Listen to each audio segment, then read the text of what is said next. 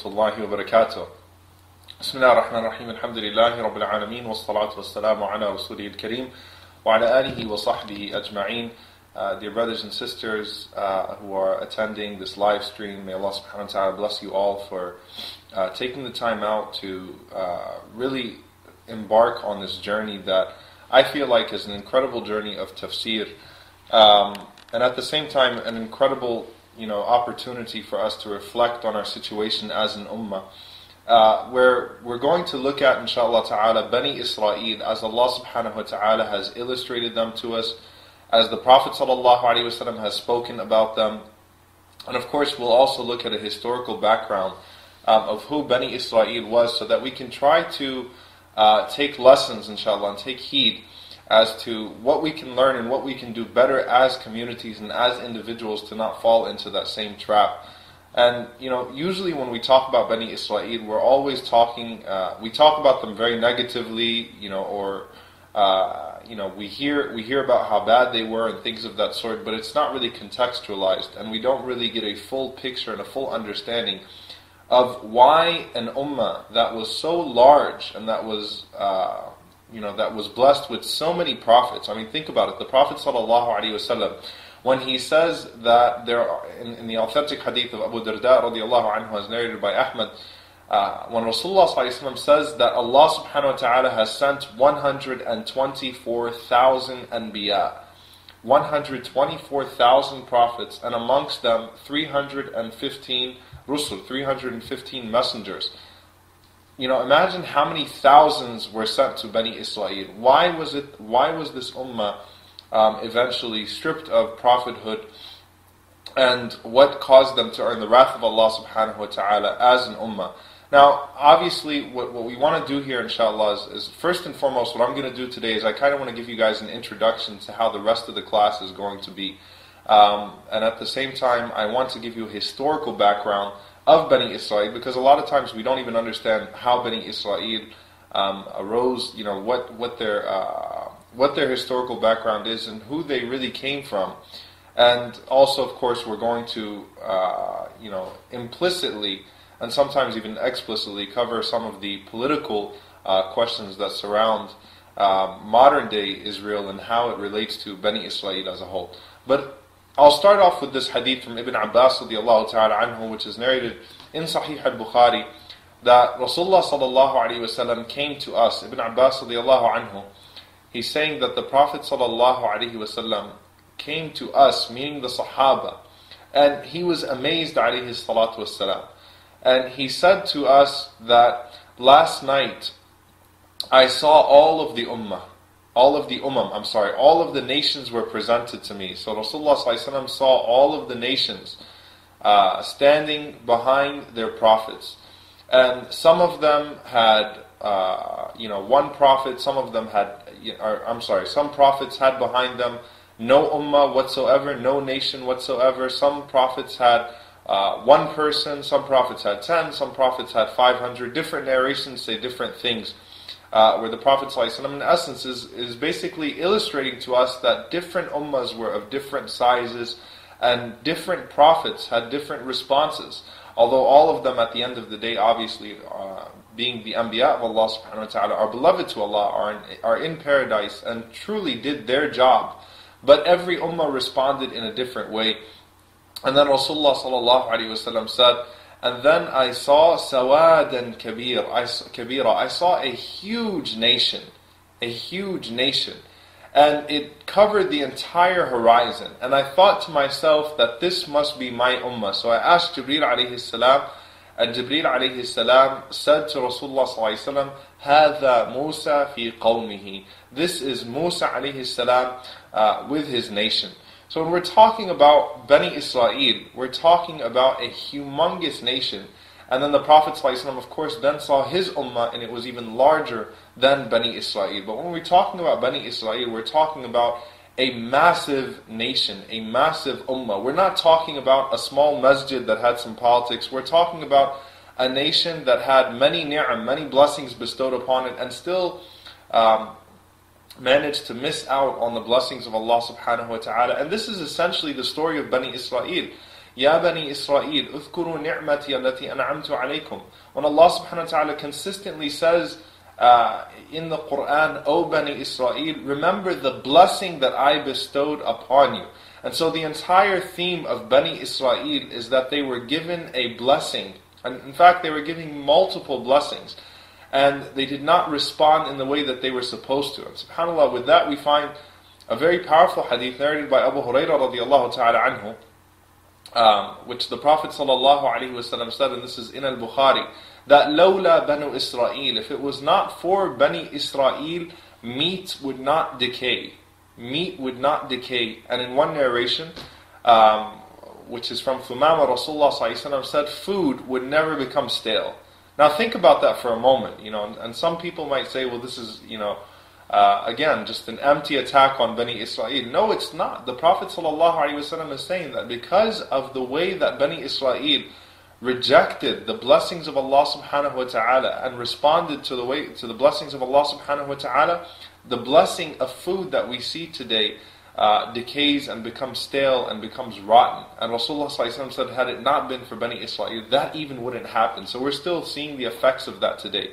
Again, uh, as, as the scholars described, uh, exchanging the ni'am of Allah, the blessings, the multitude of blessings of Allah subhanahu wa ta'ala with the usyan and with disobedience. Now, one thing that there, there are a few important points that I want to illustrate before we even get into this topic. One of them is that a lot of times when we're looking at Bani Israel, we're looking at them from, from a total outsider's perspective as if, you know, we have nothing to do with them and as if we're just meant to mock them and we're meant to look down upon them. But we forget that Bani Israel included, uh, you know, some of the greatest prophets from, from Ulul Azmi min al-Rusul. And from that we find, for example, uh, you know, a discussion that takes place between a Sahabi and a Jew at the time of the Prophet ﷺ to really just to make this point very clear that we're not just looking down upon Bani Israel, but rather we're to take lessons from them, and that they had amongst them uh, prophets, great prophets, great messengers, uh, great uh, worshippers, ubad of Allah subhanahu wa ta'ala. But in particular, I want to draw draw your attention to this hadith, which I, I feel like is very significant. Just before starting uh, this topic. And this hadith is also from Abu Hurairah radiallahu ta'ala anhu in al-Bukhari that a Sahabi and a Jew uh, started to argue. And the Sahabi, he said uh, to that Jew, والذي اصطفى محمد صلى الله عليه وسلم على العالمين by the one who preferred Muhammad صلى الله عليه وسلم over all of mankind actually over all of creation and the Jew responded, وَالَّذِي اصْطَفَى مُوسَى عليه السلام على العالمين by the one who preferred Musa عليه السلام over all people. And so this Muslim, uh, he raised his hand and he and he hit the Jew because he said that statement. And the Jew came to the Prophet ﷺ and he complained to him um, about what happened. And Rasulullah did not say to the Jew that, you know what, uh, I am better than Musa salam. This is just, I am khayru khalqillah. I am the best of all creation. I'm better than, than all of the worlds and think. No, Rasulullah didn't say that. But rather, the Prophet ﷺ said, don't give me superiority over Musa. For the people will become unconscious on Yawm al-Qiyamah. Uh, from the sa'iqah, okay, from the shock. And I will be the first to gain consciousness and I will go to the throne of Allah subhanahu wa ta'ala and I will see Musa alayhi salam standing and holding on to the side of Allah's throne. I will not know if, and, and I wouldn't know when I see him if it was because Musa alayhi salam um, gained consciousness before me or Allah subhanahu wa ta'ala simply spared him, uh, exempted him uh, from the shock. Right? And subhanAllah, as some of the scholars said, based upon it that Allah subhanahu wa ta'ala would spare Musa alayhi because of the shock of a tur that he experienced on a tur. But the Prophet here was, was basically giving us the etiquette of interfaith dialogue, if you will. Right? And when we're talking about previous nations, when we're talking about the people of the book, we should be very, very, very careful and we should not insult the other prophets of Allah subhanahu wa ta'ala, uh, you know, implicitly or explicitly. And we should be extremely careful not to, you know, not to be imbalanced in our analysis of things, even though Rasulullah again, he is certainly uh, the best of all of, uh, of all of creation. And the other thing that Rasulullah is illustrating is this, and this is that we have a connection to Musa alayhi salam. We have a connection to the prophets of Bani Israel. This is something that is that is very important to us and very precious to us. That you know we feel close to the prophets of Bani Israel, the prophets who were harmed, and it hurts us that they were hurt. And and we're also, you know, pleased whenever Allah subhanahu wa ta'ala gave them victory. We celebrate their victories and we feel harmed and we feel hurt whenever we see that the prophets of Bani Israel uh, were hurt. And in particular, we find this hadith from the Prophet ﷺ, which Ashura, which is coming up very, very soon. When the Prophet ﷺ entered into a Medina and he found the Jews were fasting And he asked why they were fasting. And they were fasting because this was the day Allah subhanahu wa ta'ala gave Musa alayhi salam victory. And Rasulullah sallallahu he fasted that day and he said, and he commanded the Sahaba to do so. And he said, نحن أولى بموسى منكم. We are closer to Musa than you. So even though Musa alayhi salam certainly is a Rasul to Bani Israel, is a messenger to Bani Israel, um, you know, and in fact, their most significant one, as we'll see, we feel a closeness to Musa alayhi salam, right? Although he is not the messenger that was sent to us, we feel a closeness to him. And you know, the Prophet ﷺ also used to feel sorry uh, for, for what Musa ﷺ went through. And this was a brotherhood that was amongst the prophets themselves. Uh, as we know, when Rasulullah ﷺ went, to, went through Al Isra wal Mi'raj, through the ascension, it was the advice of Musa ﷺ you know, we owe Musa a great deal that uh, we're not praying 50 times a day because it was the advice of Musa السلام, to the Prophet ﷺ, to continue to go to Allah subhanahu wa ta'ala and to ask him to reduce the prayers. Musa السلام, did not have a grudge against this ummah because this ummah was more responsive than his ummah.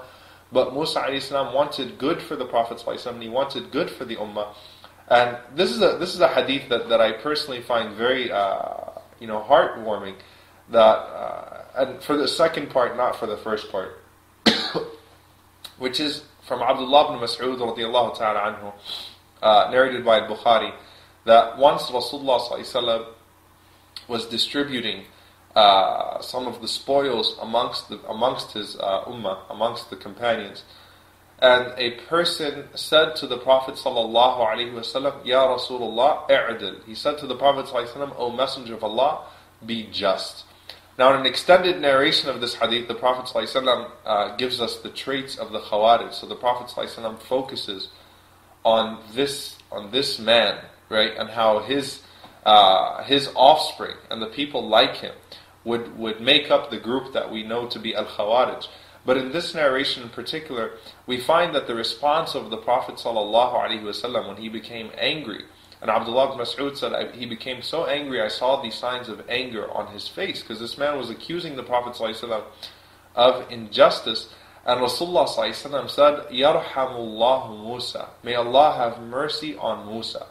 قَدْ أُوذِيَ بِأَكْثَرَ مِنْ هَذَا He was harmed with much worse than this, right? He was treated so much worse by his ummah. Right? Think about how the ummah of, of Musa treated him uh, over and over and over again. He was harmed many, many, many times. And in fact, all of the prophets of Bani Israel were harmed by their people. But Rasulullah was, was reminding himself here that he was harmed with much more than the Prophet was harmed with. فَصَبَرْ But he still was patient. He still was patient. So we take lessons when we're looking at the story of Bani Israel, not just from the perspective of you know, the mistakes that Bani Israel made, but we also learn from the patience that the, that the prophets had with Bani Israel. And so there are many lessons to be learned um, in, in, in, uh, in different situations here. Uh, but obviously the primary lesson and the reason why, you know, almost half of the Quran is stories of the prophets of Bani Israel and the Ummah of Bani Israel is because they are the Ummah before us and we are very similar to them, and we'll find very uh, frightening similarities till now. Uh, in fact, they're, they're emphasized now. Um, and Allah subhanahu wa ta'ala tells us not to be like them in their bad things, to learn from their good and to avoid their evil. And Allah subhanahu wa ta'ala says, for example, Ya ayyuhalladhina amanu la takunu kalladhina adha Musa. Don't be like the people who harmed Musa alayhi salam. Right? So look at that hadith and look at that ayah. You know, don't be like those people that harmed their prophet, that harmed Musa alayhi salam. Uh, learn from their mistakes and do better. Uh, and it's important here to mention that when the Prophet ﷺ was sent, it was only a few people from Bani Israel that were still pleasing to Allah subhanahu wa ta'ala on this earth. As is narrated in Sahih Muslim Uh, Rasulullah said, Inna Allah nadara ila ahli al That before the Prophet ﷺ was, was sent, right before the Bi'atha, right before he was sent, Allah subhanahu wa ta'ala looked to the earth. He looked to the people of the earth. فَمَقَتَهُمْ And he was displeased, right? He hated them. The, the, the ones, he was, he was displeased with them. Arabahum wa ajamahum. This was not a racial thing. The Arab and the foreigners, right? The Arab and the foreigners. And obviously the Prophet ﷺ is addressing the Arab here. Except for a few leftovers, a few remnants of the people of the book who are Bani Israel, right? Who were still implementing uh, the truth, or the closest to what they knew to be the truth, who were still upon Tawheed and monotheism. So it's, it's important for us to understand that there were a few people uh, from Bani Israel when the Prophet ﷺ was sent that were still upon, uh, or right before the Prophet ﷺ was sent, that were still upon the truth, and that number continued to diminish until the message was given uh, to the Prophet ﷺ. And not only do we learn from the Quran and the Sunnah uh, the lessons from Bani Israel for ourselves, but rather Allah subhanahu wa ta'ala says, إن هذا القرآن يقص على بني إسرائيل أكثر الذي هم فيه يختلفون. That verily this Quran relates to the children of Israel, to, through to Bani Israel, most of that over which they disagree. So it clarifies things to Bani Israel too. It doesn't just clarify things to us, it clarifies things to the people who, who still claim to be the people of the book, Allah subhanahu wa ta'ala is addressing them um, as well. But obviously for ourselves, kuntum khayra ummatin ukhrijat linnas. Allah subhanahu wa ta'ala tells us that you are the best nation that were sent towards people, not the Arab, the, the Muslims. Right? Why? Because you believe in Allah subhanahu wa ta'ala, because you enjoin good, because you forbid evil. And when you ab- when we abandon that, that is whenever we start to see the humiliation um, that Bani Israel uh, went through. And notice, and this is a very, very significant point, especially for students of tafsir. And I want you to take notes. I hope you, and I'm telling you from now, you will need to take notes throughout this entire class because we're going to go through a lot of history, we're going to go through a lot of stories, a lot of incidents, a lot of situations uh, that you will forget right after the class uh, that you need to keep in your notes. But for the students of tafsir, and this is a very powerful um, lutf, a very powerful uh, gem uh, for us to really consider. When we say Bani Israel, those of you who are students of Arabic grammar, you know that you should not say Bani Israel, rather you should say Banu Israel. Right? There is no reason uh, to refer to them in the maksur form, right, with the kasra, Bani Israel. But rather when you're referring to them alone, right? Then you're talking about the beginning, you're talking about the mubtada, you're talking about Banu Israel. Why does why do we consistently say Bani Israel? Right? And the reason for that is that Allah subhanahu wa ta'ala consistently is addressing them in the Quran, Bani Israel. They are consistently being spoken to, they are consistently being made an example of right? Because they it becomes uh, it becomes with the kasra, right? It becomes in the jar form whenever they are consistently being spoken to. Ya Bani Israel, right? Oh Bani Israel. Allah subhanahu wa ta'ala admonishing them. Allah subhanahu wa ta'ala talking about the mistakes that they made. They're consistently being admonished and chastised in the Quran. So we've gotten used to saying Bani Israel. So with, with the kasra in the maksur form. Now, this is not just this is not an accident. I want you to think about this for a moment. There's only one ayah in the Quran, and Huffaz, you can start thinking right now as I'm speaking. One time in the Quran, Allah subhanahu wa ta'ala refers to Bani Israel as Banu Israel. And that is in Surah Yunus. And Allah subhanahu wa ta'ala says, وَجَاوَزْنَا بِبَنِي إِسْرَائِيل So first Allah subhanahu wa ta'ala says, we took the children of Israel um, uh, across the sea. فأتبعهم فرعون and then Fir'aun followed them وجنوده and his and his uh, and his soldiers uh, بغيا وعدوى with with uh, with tyranny and enmity and then Allah subhanahu wa ta'ala says حتى إذا أدركه الغرق until drowning overtook him meaning Fir'aun قال آمنت أنه لا إله إلا الذي آمنت به بنو إسرائيل وأنا من المسلمين Fir'aun said, I believe that there is no God worthy of worship except for the one who Bani, who Banu Israel, not Bani Israel, who Banu Israel believed in, and I am from the Muslims. This is the only time Allah subhanahu wa ta'ala refers to them in the rafa, in the marfu' form, right? And this is linguistic, but at the same time, uh, one the benefit that we can take from this is uh, kasarahum Allah as, as, as the scholars would say, linguistically with fi'liyan, right? With, uh, not only did Allah subhanahu wa ta'ala break them by calling them Bani Israel linguistically, but, at, but rather they're consistently being spoken at. It's a message for us that they are Bani Israel. But the only time Allah referred to them as Banu Israel was whenever their name came bi maqam tawheed, with the station of tawheed, with the station of monotheism with a recognition of Allah subhanahu wa ta'ala's oneness. At those moments when they were low, when they were following Musa alayhi salam, and, and Fir'aun is expressing his belief, and obviously it was too late then, uh, in the same God that Banu Israel believed in. And that is the only time that they are marfu' uh, not just linguistically, but fi'liyan, but in action whenever Banu Israel, whenever their name comes, be maqam tawheed, in a, in a station of monotheism. Those of you who aren't students of the Arabic grammar, you probably missed that entire point, but I hope not, inshallah. Just review it a few times and you'll understand what I'm talking about. Then immediately, this obviously, this situation is right before, you know, right while they're passing through the Red Sea, immediately after they pass through the Red Sea, as we find, as we'll study, that is when they all they, they start to give Musa alayhi salam problems over and over and over again. And so they are consistently, again, uh, rejecting and not responding properly to the ni'am, to the blessings of Allah subhanahu wa ta'ala upon them. Now, as we go through the stories of Bani Israel, there are a few things to take into consideration. Number one, uh, the hadith of Abdullah ibn Amr ibn al-As anhu, and I apologize, this is a very lengthy introduction to the class, but this, this topic needs a lot of maturity, uh, especially for a student of knowledge. Uh, Rasulullah said in, in, the hadith of Abdullah ibn Amr ibn As radiallahu anhu in Sahih al-Bukhari, بَلِّغُوا عَنِّي وَلَوْ آيَةً Convey my, you know, convey upon me, convey my message, even if it's just one verse. وَحَدِّثُوا عَنْ بَنِي إِسْرَائِيلَ وَلَا حَرَجٍ And speak of the reports of Bani Israel, and there is nothing wrong with that. وَمَنْ كَذَبَ عَلَيَّ مُتَعَمِّدًا and whoever lies upon me, whoever tells a lie upon me, um, intentionally, فَلْيَتَبَوَّأْ مَقْعَدَهُ مِنَ النَّارِ So let him choose his place in the hellfire. Uh, so the Prophet ﷺ here is telling us, حَدِّثُ عَنْ بَنِي إِسْرَائِيل وَلَا حَرَجْ Speak about the children of Israel.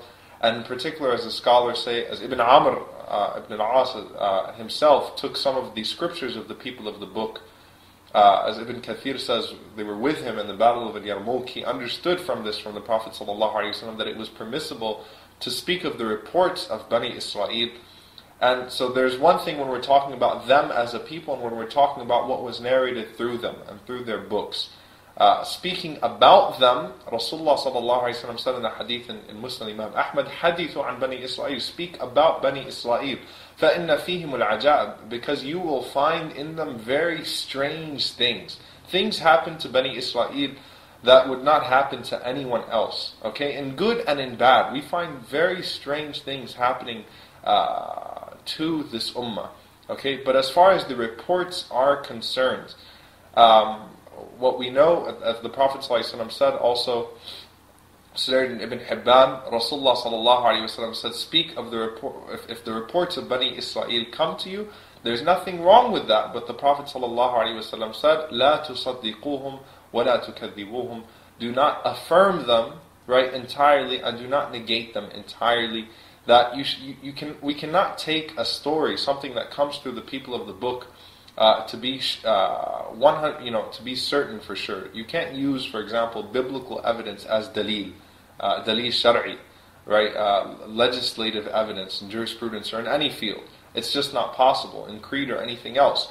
Uh, and likewise, don't deny everything because you might be denying something that's true. You don't want to be denying something that's true and you don't want to be affirming something that's false. And so, what the scholars derive from that is that when we speak about the history of Bani Israel, when we speak about the reports of the people of the book, when we come across names and when we come across incidents um, that fill in the details of a story that give us more context, but they don't contradict our beliefs, our established beliefs in Islam, then there is no haraj, there is no problem in mentioning those just to get a fuller uh, picture. So when we go through this class, when we go through the history um, of Bani Israel, we're going to obviously come across some of the reports, especially when it comes to names and things of that sort, uh, that have come through them. Um, and it starts off with Ibrahim alayhi salam. And it's very important to mention here because Ibrahim alayhi salam is always spoken about as the father of the faith. Um, and everyone tries to make a claim uh, to uh, Ibrahim alayhi salam. And Allah subhanahu wa ta'ala mentions to us about Ibrahim alayhi salam, the very, a very important point. Allah subhanahu wa ta'ala says, ما كان إبراهيم يهوديا ولا نصرانيا. Ibrahim was not a Jew, he was not Yahudi, nor was he a Christian, but rather he was Hanif and Muslima. He was a, a, a monotheist, a Muslim, one who submitted to Allah subhanahu wa ta'ala. وما كان من المشركين and he was not from uh, the, the disbelievers. And Allah subhanahu wa ta'ala says that the ones who have the most right to Ibrahim, لَلَّذِينَ اتَّبَعُوهُ right, are the ones who follow him. It's not his it's not his lineage that you know, or, or people that can directly trace their lineage to him. It's not the pe- children of Ishaq. It's not the children of Ismail. It is whoever follows Ibrahim alayhi whoever follows the Sunnah, whoever follows the message of Ibrahim alayhi has the most right to him.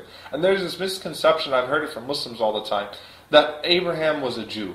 Abraham was not a Jew. Ibrahim alayhi was not a Jew. I've heard it from Muslim speakers in interfaith dialogue sometimes.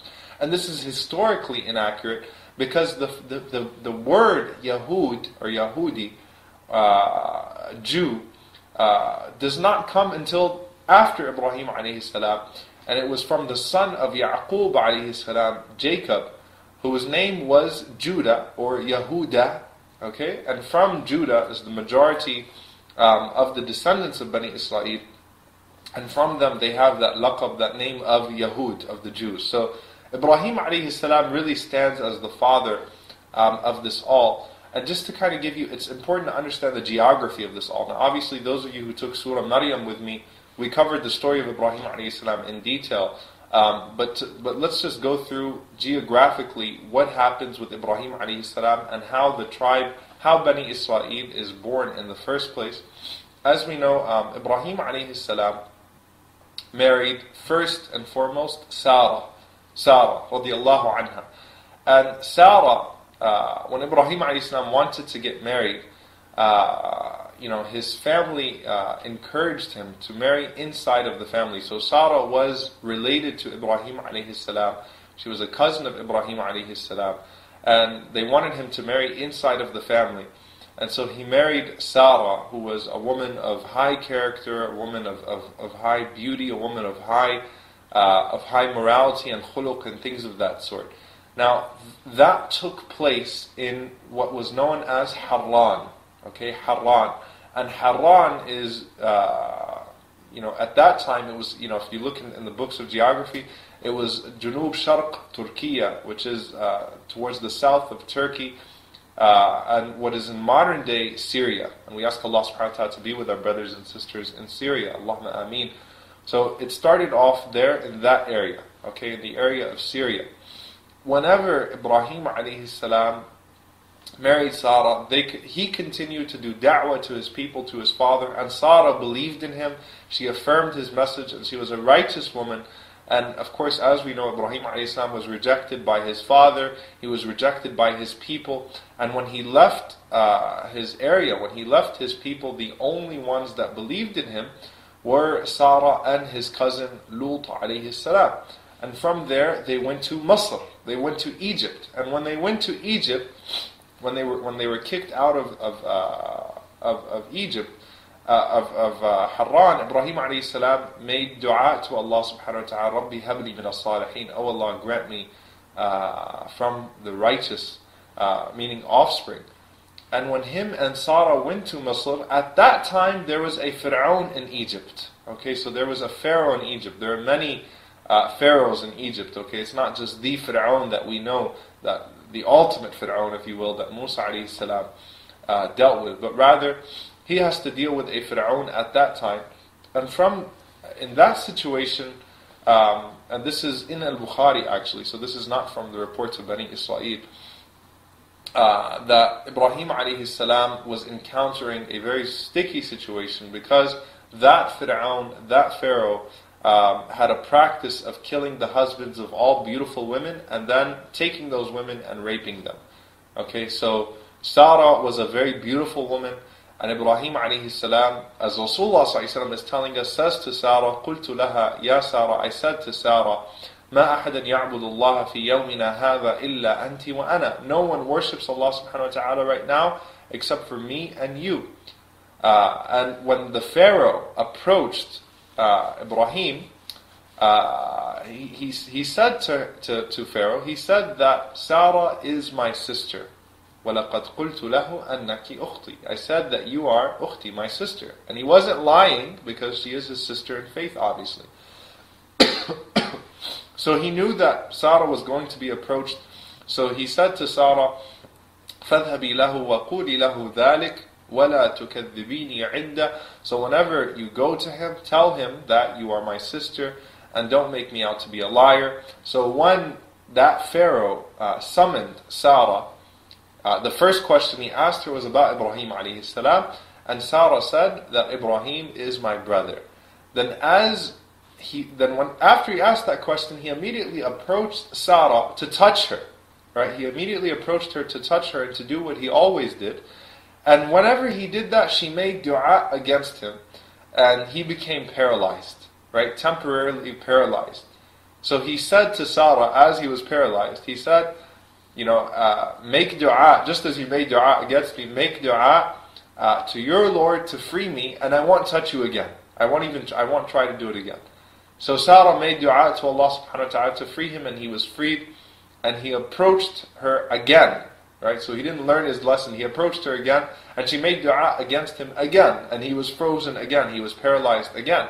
And he said, Make dua to your Lord, you know, call upon him again to free me, and I promise you I won't do it again. So she did that, and he approached her again, and she made dua against him again. And then at that point, he said, Look, make dua to your Lord. This is three strikes, you're out, right? Make dua to your Lord to let me go, to get me out of the situation. Not only um, will I, uh, will I, you know, not touch you, but I'll let you go free, and I'll also give you a gift. Right? So he made dua. So she made dua. Sarah made dua to Allah Subhanahu wa Taala to free him and he gave her, uh, he freed her, he let her go, and he gave her Hajar, Hajar, which means Ha ajruka, this is your gift, this is your compensation. Uh, Hajar, our mother Hajar, um, alayhi salam, radiallahu anha.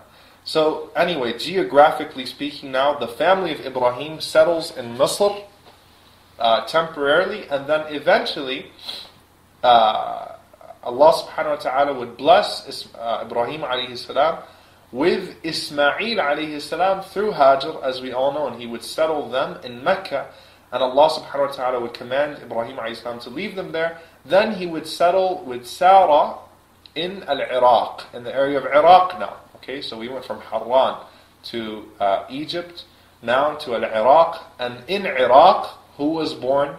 Ishaq alayhi salam uh, was born uh, to Sarah um, after they had thought that that uh, that they would that, that, Sarah would not be able to give birth. Allah subhanahu wa taala sent the malaika, sent the angels uh, to Ibrahim alayhi salam and they gave him وَبَشَّرُوهُ بِغُلَامٍ عَلِيمٍ and they gave him the glad tidings of a knowledgeable uh, young man, a beautiful, knowledgeable young man who would inherit the nubuwwah, also the prophethood uh, through Sarah uh, radiallahu anha wa alayhi salam. And so Ishaq is born in al-Iraq.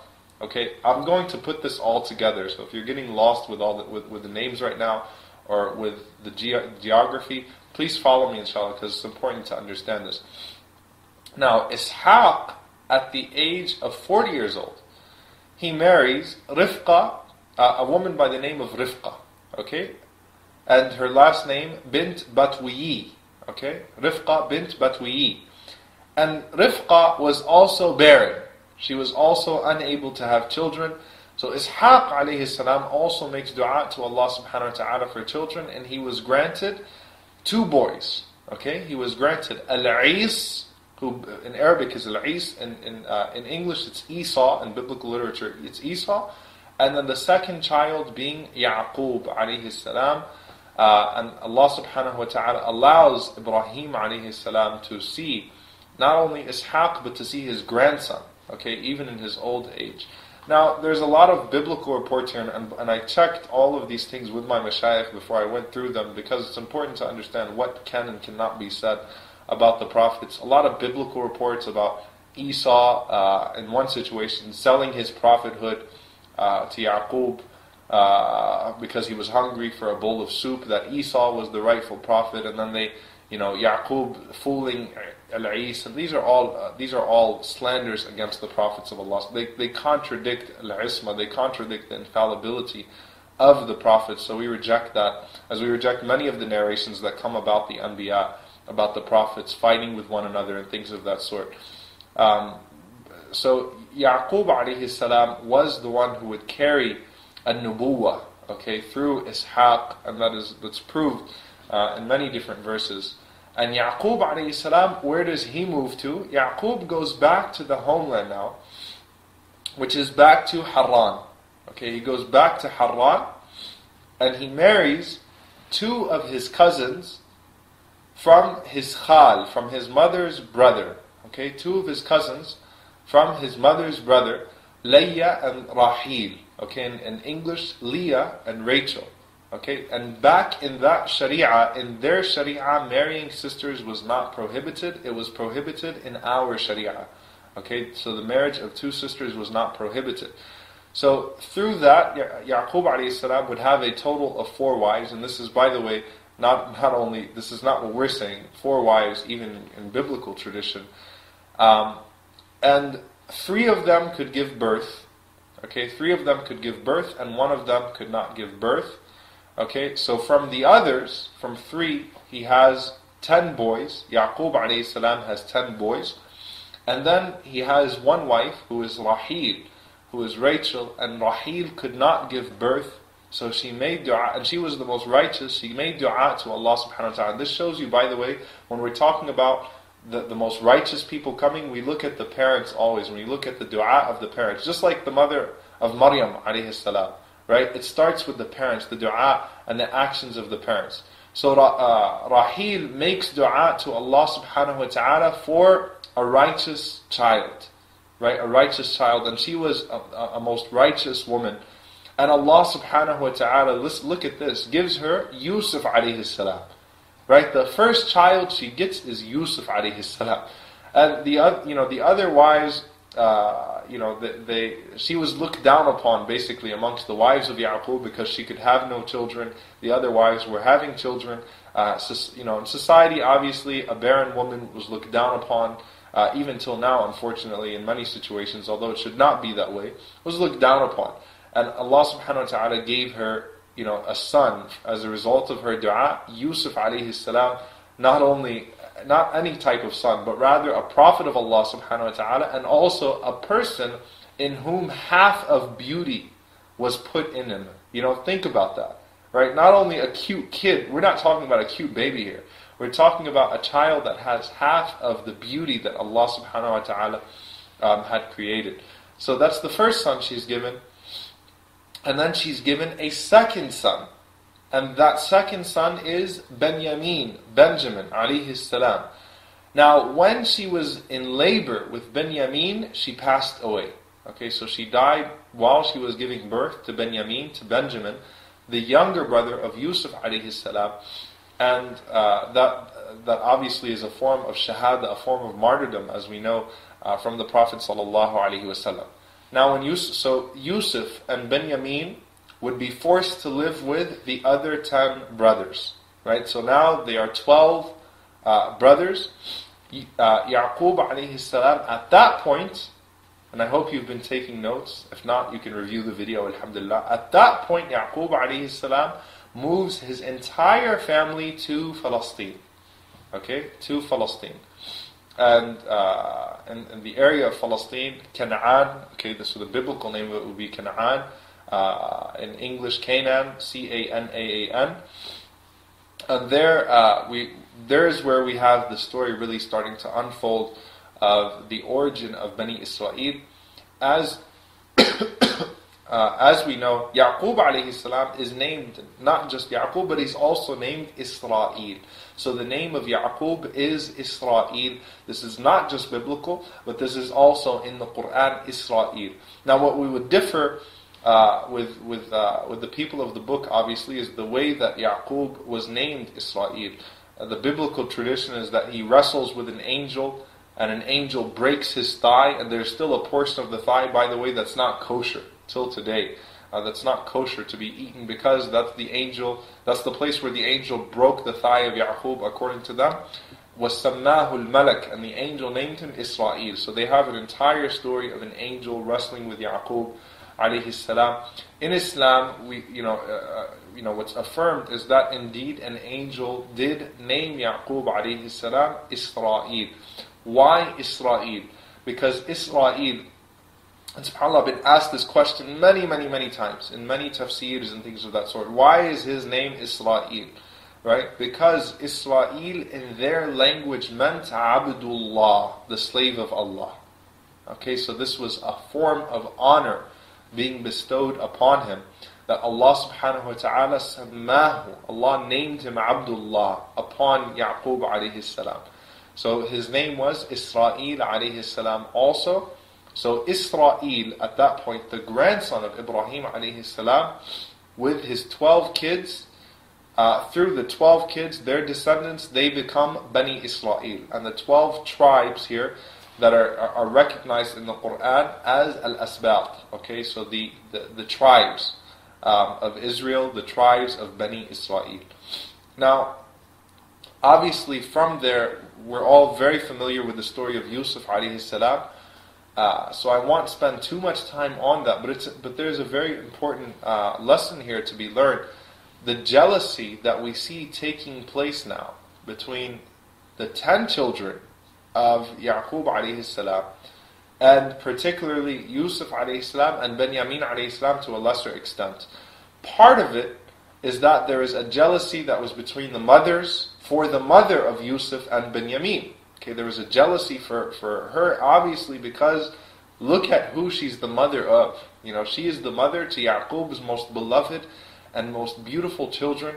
And from there, we know that not only that, not only were they already, you know, more beautiful, uh, more beloved to Yaqub alayhi salam, and inheriting a nubuwa, inheriting prophethood, but rather we find that Yusuf alayhi salam has that dream, that special dream that we know about in Surah Yusuf and it's very important here to take heed. When Yusuf alayhi salam comes to his father and says to his father that إني رأيت عشر كوكبا والشمس والقمر رأيتهم لي ساجدين that verily I saw ten stars and I saw the sun and the moon all of them prostrating to me all of them making sujood to me the first thing that Yaqub alayhi salam says to him لا تقصص رؤياك على إخوتك فيكيدوا لك كيدا do not narrate this dream to your brothers because they will plot an evil plot against you. Why did Yaqub alayhi salam say that to him? And we can take some we can take many lessons from that. The Prophet ﷺ told us that if you have a good dream, if one of you sees a good dream, you should share it. So the Sahaba used to share their good dreams with the Prophet ﷺ in the company of other Sahaba. But the scholars also derive something very important that you should only share a good dream with those who wish good for you, who you think would want good for you, who, who are not in competition with you, who are, who are not going to feel threatened by uh, your good dream. Right? So Yaqub alayhi is saying, you know, it's good that he didn't chastise Yusuf alayhi for sharing the dream with him, but he said, لا تقصص رؤياك على إخوتك. Don't share your dream with your brothers. And he did not share his dream um, with his brothers. But as we know, they were very jealous of him. Uh, you know, they, they plotted first initially for his murder until the oldest one said, you know, and this was his form of generosity, right? Unfortunately, fi leave him in the well.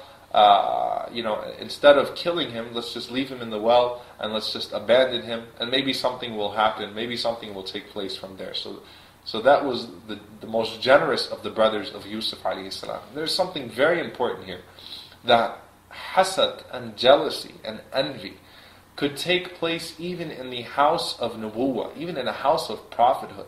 I mean, you look at the very, this is not just the origin of Bani Israel, this is the origin of mankind.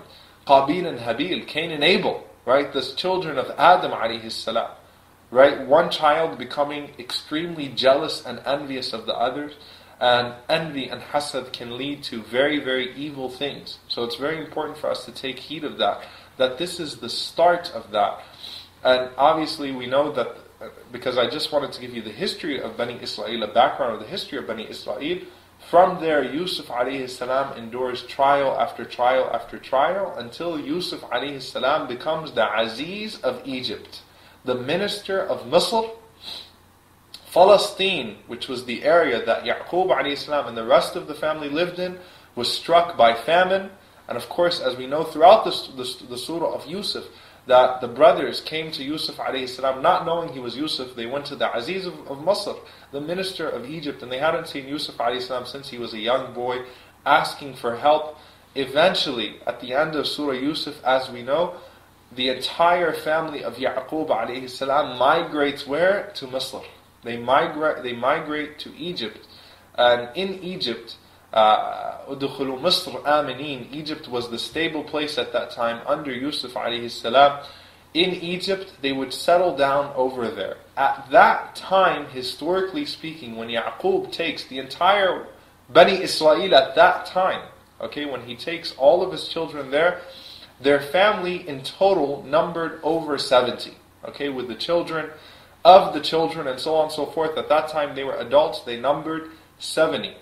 Within three or four generations, they increased to 600 to 700,000 men of, uh, of age. Okay, and when you see men of age historically, you're talking about men who were of fighting age. And that's where you see, obviously, the hiqd, uh, the, the grudge of Fir'aun, the pharaohs, against Bani Israel. Generally speaking, as they grew in number, they started to become subjugated because they were threatening. Uh, they were threatening uh, the establishment at that time just by their very number as they started to grow in number. And Allah subhanahu wa ta'ala continued to send them prophets. So there were many prophets between Yaqub alayhi salam, Israel alayhi salam, and Musa alayhi salam. Okay, many prophets in that span that Allah subhanahu wa ta'ala tells us about and the way that they treated their prophets. So we'll talk about that. That came to them to remind them. Um, but the point that I want to make here, obviously, just giving the historical background when we're talking about the geography. Next week, inshallah, as we start, we'll start going through their characteristics and things of that sort. The point is, is that they were settled in Misr. They were settled in Egypt, and uh, in Palestine there was already a settled town. Okay, there was already a settled group of people there. Uh, because there's this idea, and unfortunately, sometimes out of our ignorance, we submit to this that the first people there were the Jews, right? So the first people in Palestine were the Jews. Actually, there was a dynasty, there was there was a settled people there. In particular, the Hyksos Arab, Hyksos Arab. You can you can look them up and you can study them. That were there, and they this was a powerful group of Arabs that actually at one point even conquered Egypt okay, at one point fought from Palestine and conquered Egypt, and Bani Israel came under their power at one point, and they ruled Misr for 30, for, for 300 years, for approximately 300 years. And then when the Pharaoh defeated them, okay, when they were defeated, and, and the Hyksos, if you read about them, they were very powerful from a, from a standpoint of military. Okay, they invented many of the weapons, what was considered modern day weapon weaponry of their time. Uh, they were defeated by the Pharaoh and they were run back out to Palestine. Where did Bani Israel go? Nowhere. Because Bani Israel was not settled in the area of Palestine. Bani Israel remained subjugated under the various lines of pharaohs that would come. The you know the the, the succession of Fir'aun after Fir'aun after Fir'aun after Fir'aun. And the, the pharaohs always hated Bani Israel. They consist, they hated Bani Israel um, from the time of Ibrahim alayhi salam. There was a consistent hate towards them, and they were subjugated and they were tortured. Uh, but but you know the, the torture was was more of mental humiliation and subjugation and slavery. But rather when Fir'aun, the Fir'aun, okay, had the dream that a child would be born from Bani Israel that would dethrone him, that is when Fir'aun killed all of the babies of Bani Israel except for the one who Allah subhanahu wa ta'ala spared, being Musa alayhi salam. Uh, whenever he inspired the mother of Musa alayhi salam uh, to put Musa alayhi salam into the river, and we all know the story from there, and we'll go from there inshallah ta'ala next week when we talk about the start of Musa alayhi salam and Musa alayhi salam's interaction with Bani Israel. But there's there's an extremely important point here, and that is that we find, by the way, as we covered all of these different regions that Bani Israel traveled through, um, you know, there are Zionists until today that claim that Israel is not just Palestine, by the way, but rather that Israel is from the Euphrates in Iraq to the Nile in Egypt. Okay? That this entire region through which Bani Israel traveled through in this time and these are our prophets, these are beloved people to us, right? When we're talking about the prophets of Allah subhanahu wa ta'ala, the origins of Bani Israel. But this entire land through which Yaqub alayhi salam, through which Ibrahim alayhi salam, until Yaqub alayhi salam, until his children traveled throughout, is actually rightfully the biblical land of Israel. And subhanAllah, you can see how, how ridiculous and how skewed uh, you know, that, that claim uh, truly is. But this is just to kind of give you a background of that. Now, throughout these, these next five weeks, what we're, what we're going to do, inshallah ta'ala, we are going to go through all of the ayat and all of the ahadith that talk about the characteristics of Bani Israel, and we'll also cover it chronologically in a way that we can understand. Today was just a, a, a background of who Bani Israel was. Um, I hope that you didn't get lost in all of the history, but again, go through, review the video, uh, review the lecture, take notes as to as to like where the Prophet settled. It'll all start to come around, inshallah ta'ala, in the next few weeks. Uh, you can register for the class, inshallah, online at ilftexas.org, uh, or if you have an, a, a Inflix, a membership, uh, you have free access to this class um, and to all of the other classes. So inshallah ta'ala now I'll go ahead and I'll take questions. أقول قولي هذا واستغفر الله لكم ولسائر المسلمين uh, and inshallah ta'ala, I'll go ahead and I'll take questions on the social stream. Um,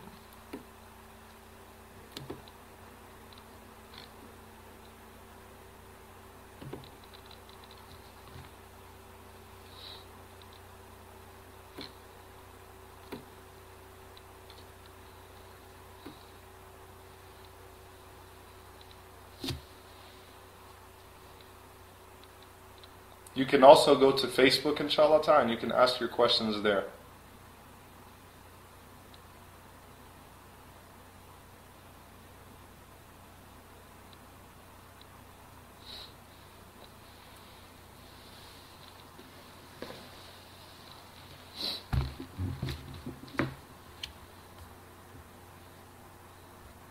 So you can go to Facebook and you, you can ask your questions on the event page.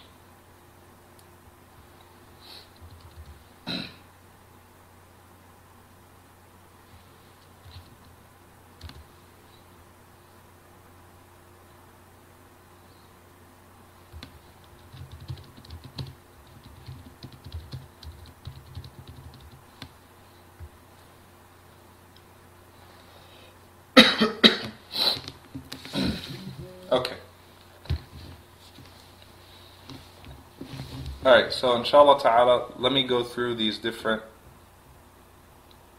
questions. First and foremost here. Okay. Um, how many prophets did you say were sent to Bani Israel? Allah subhanahu wa ta'ala knows best, but they were thousands, because the Prophet said again that 124,000 anbiya were sent to mankind as a whole.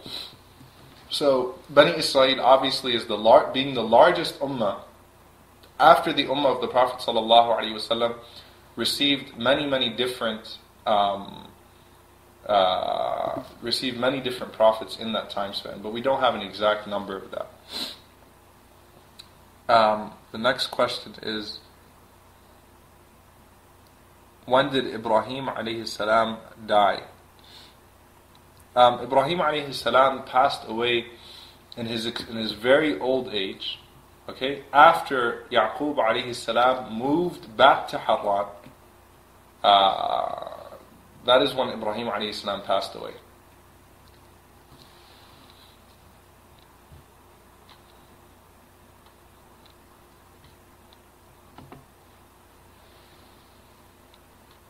Okay. Um, how many generations after Yusuf alayhi salam, after Yaqub alayhi salam, did it expand to 6,000 or 600,000? It expanded to 600,000. Uh, who is Hajar? Hajar is the mother of Ismail alayhi salam. So obviously from the descendants of Hajar and Ismail, we find Rasulullah sallallahu alayhi wasallam, and that is the ummah of the Prophet sallallahu alayhi wasallam.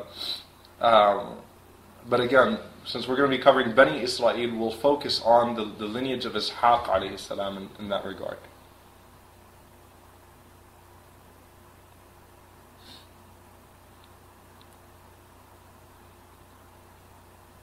Yes, I will cover how this is re- related to the revelations being sent to the Prophet. ﷺ.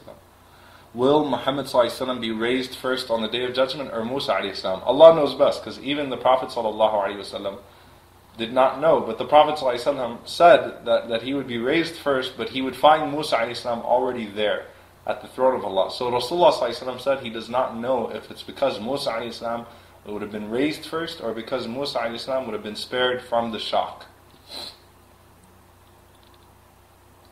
Uh, you gave reference of a hadith in Muslim Imam Ahmad in the beginning of the class. Can you repeat it? It's the hadith in which the Prophet ﷺ said, Hadithu an Bani Israel. Uh, فَإِنَّ فِيهِمُ الْعَجَائِبِ That speak of Bani Israel because verily uh, um, uh, we find amazing occurrences happening with them. Amazing things happen to them.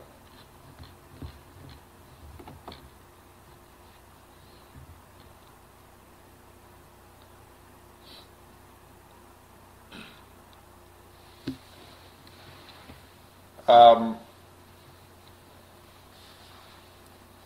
who was the wife of Ishaq alayhi salam.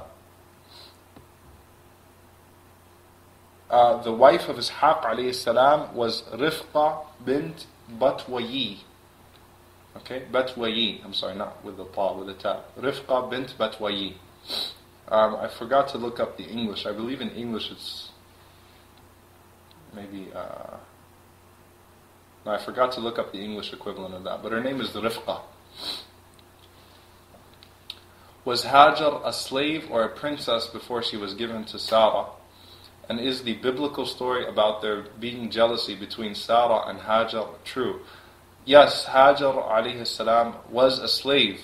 Uh, again, she was she was considered compensation Hajar. She was a slave um, before she was given uh, to Sarah. Uh, the biblical narration, the biblical story about Sarah and Hajar, about jealousy, there is certainly some jealousy. There was certain, certainly jealousy, which was natural, between Sarah and Hajar. But the biblical narration goes way too far. Okay, and, and that's the, the, the, the problem is is that many times we find too much drama and uh, and that too many stories that are that are invented um, uh, that are really inappropriate. Okay, so Sarah being a a zalima to a point where she's uh, going out of her way to murder Hajar doesn't fit with her righteousness.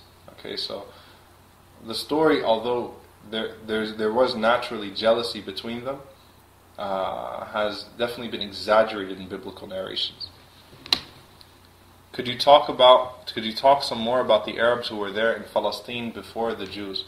Uh, there were various people. Palestine was made up of various peoples before the Jews. Um, but in particular, again, if we read about the Hyksos, you can read about the dynasty uh, there. the main point, there isn't much information because the main point there is that, that, that it was a settled town. Okay, and that was the only point that I was trying to make.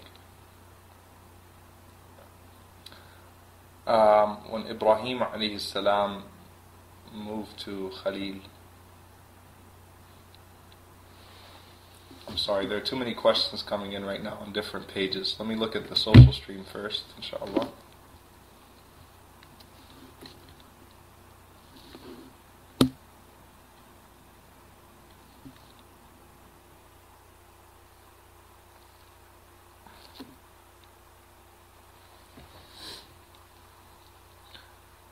Is it true that to say that Hajar was the Pharaoh's daughter?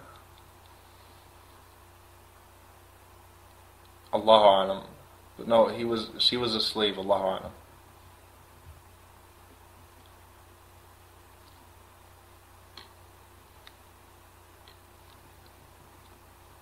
Yes, she was a wife of Ibrahim alayhi salam. For what reasons did Allah subhanahu wa ta'ala bestow blessings upon Israel, upon Bani Israel, if He knew that they would betray Him? Allah subhanahu wa ta'ala has given uh, blessings to many different uh, ummah, many different nations before. Um, again, this is more of a question of qada and qadar. This is more of a question of divine decree. Okay, and the question here, and, and the idea here is Allah subhanahu wa ta'ala did not force them into isyan, did not force them into disobedience. Allah subhanahu wa ta'ala gives blessings to people, and if they disobey Him, then the punishment of Allah subhanahu wa ta'ala would fall upon them. Uh, but that is that knowledge is reserved purely to Allah subhanahu wa ta'ala alone, solely to Allah. What is the difference between a Nabi and a Rasul?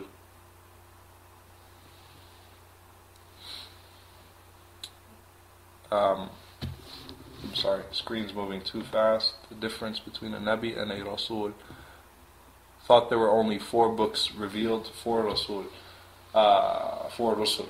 No, so the difference between a Nabi and a Rasul is that a Rasul brings a new form of legislation. He brings a new message, whereas a Nabi uh, reinforces the previous uh, the previous message. And that was the position of Imam Ibn Taymiyyah rahimahullah much discussion on that. There were 315 rusul, 315 messengers. There was there were many books, okay, many mushafs, many suhuf, pages that were uh, that were revealed. Um, because every Rasul will bring a new message. Some scriptures were smaller than others. So, for example, Imam Ibn al-Qayyim rahimahullah, when he describes the Injil of Isa alayhi salam, the true Gospels of Isa alayhi salam, and Imam Ibn al-Qayyim rahimahullah, he says that uh, the Injil was, was a very small book and it was only a supplement to the Torah. Okay, it, abrogated a few things.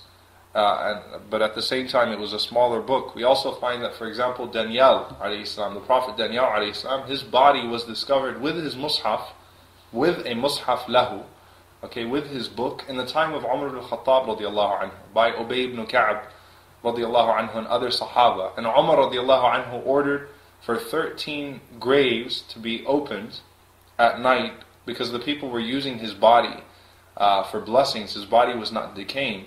Umar ibn Khattab radiallahu anhu ordered 13 graves to be opened and uh, and for him to be placed in, in one of those graves without the people knowing which one so that the people would not do shirk with those graves. Okay, so it shows us the aqidah of Umar by the way. Uh, you know, in terms of and the Sahaba, right? In terms of uh, the way that they understood graves and things of that sort. Okay, so there were many mushafs, many different, um, many different books that were revealed.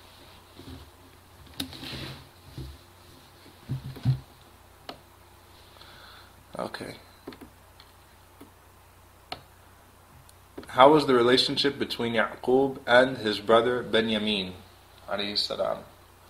Uh, Benjamin salam was the younger brother of Yusuf salam, and obviously after Yusuf salam, he was the one who he, the brothers were most jealous of, and Yaqub was worried about them. Uh, you know, whenever he sent them to Egypt, he was worried about them uh, doing something to Benjamin, right? Because Benjamin was obviously close to him and beloved to him. inshallah, you know, we don't have time to go into the story in, in, in its particulars right now, Binyamin alayhi salam. Uh, but hopefully in the future, inshallah ta'ala, we'll do that.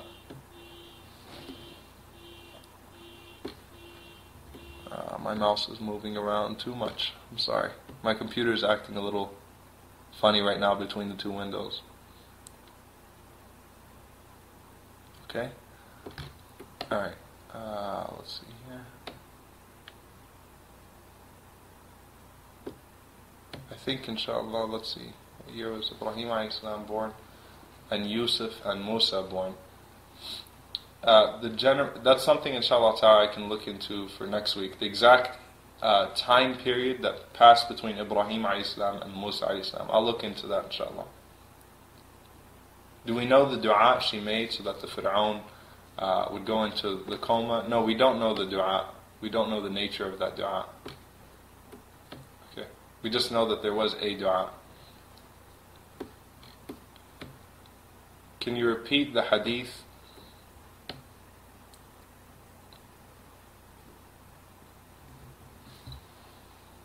of the Sahaba and the Jew, uh, the Sahabi and the Jew. This hadith was in al-Bukhari that uh, this this Muslim man was arguing with the Jewish man, and the Muslim took an oath and he said, uh, "By him who has preferred Muhammad over all the people."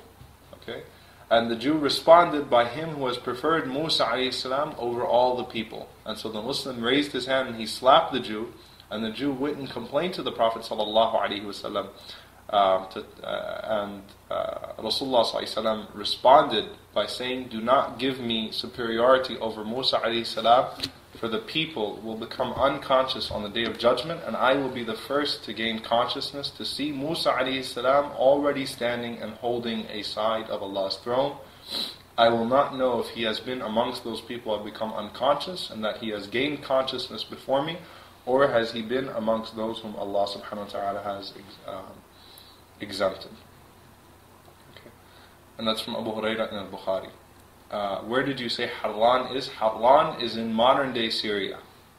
Okay, modern day Syria. Right. Inshallah ta'ala, with that, I'm going to go ahead and conclude. Please continue to ask your questions on the thread on Facebook now, since the social stream will be closed and I will, inshallah ta'ala, answer those questions um, uh, throughout the week. Uh, uh, inshallah ta'ala, please do go ahead and sign up for next week, inshallah, and for the rest of the class, and you can encourage others to do so also. And I hope, inshallah, there will be some benefit in it for all of you. I'm really excited about this class because this is a very unique class, and it's one that I'm learning a lot just preparing. Uh, so we'll go through all of the ayat and all of the hadith about Bani Israel.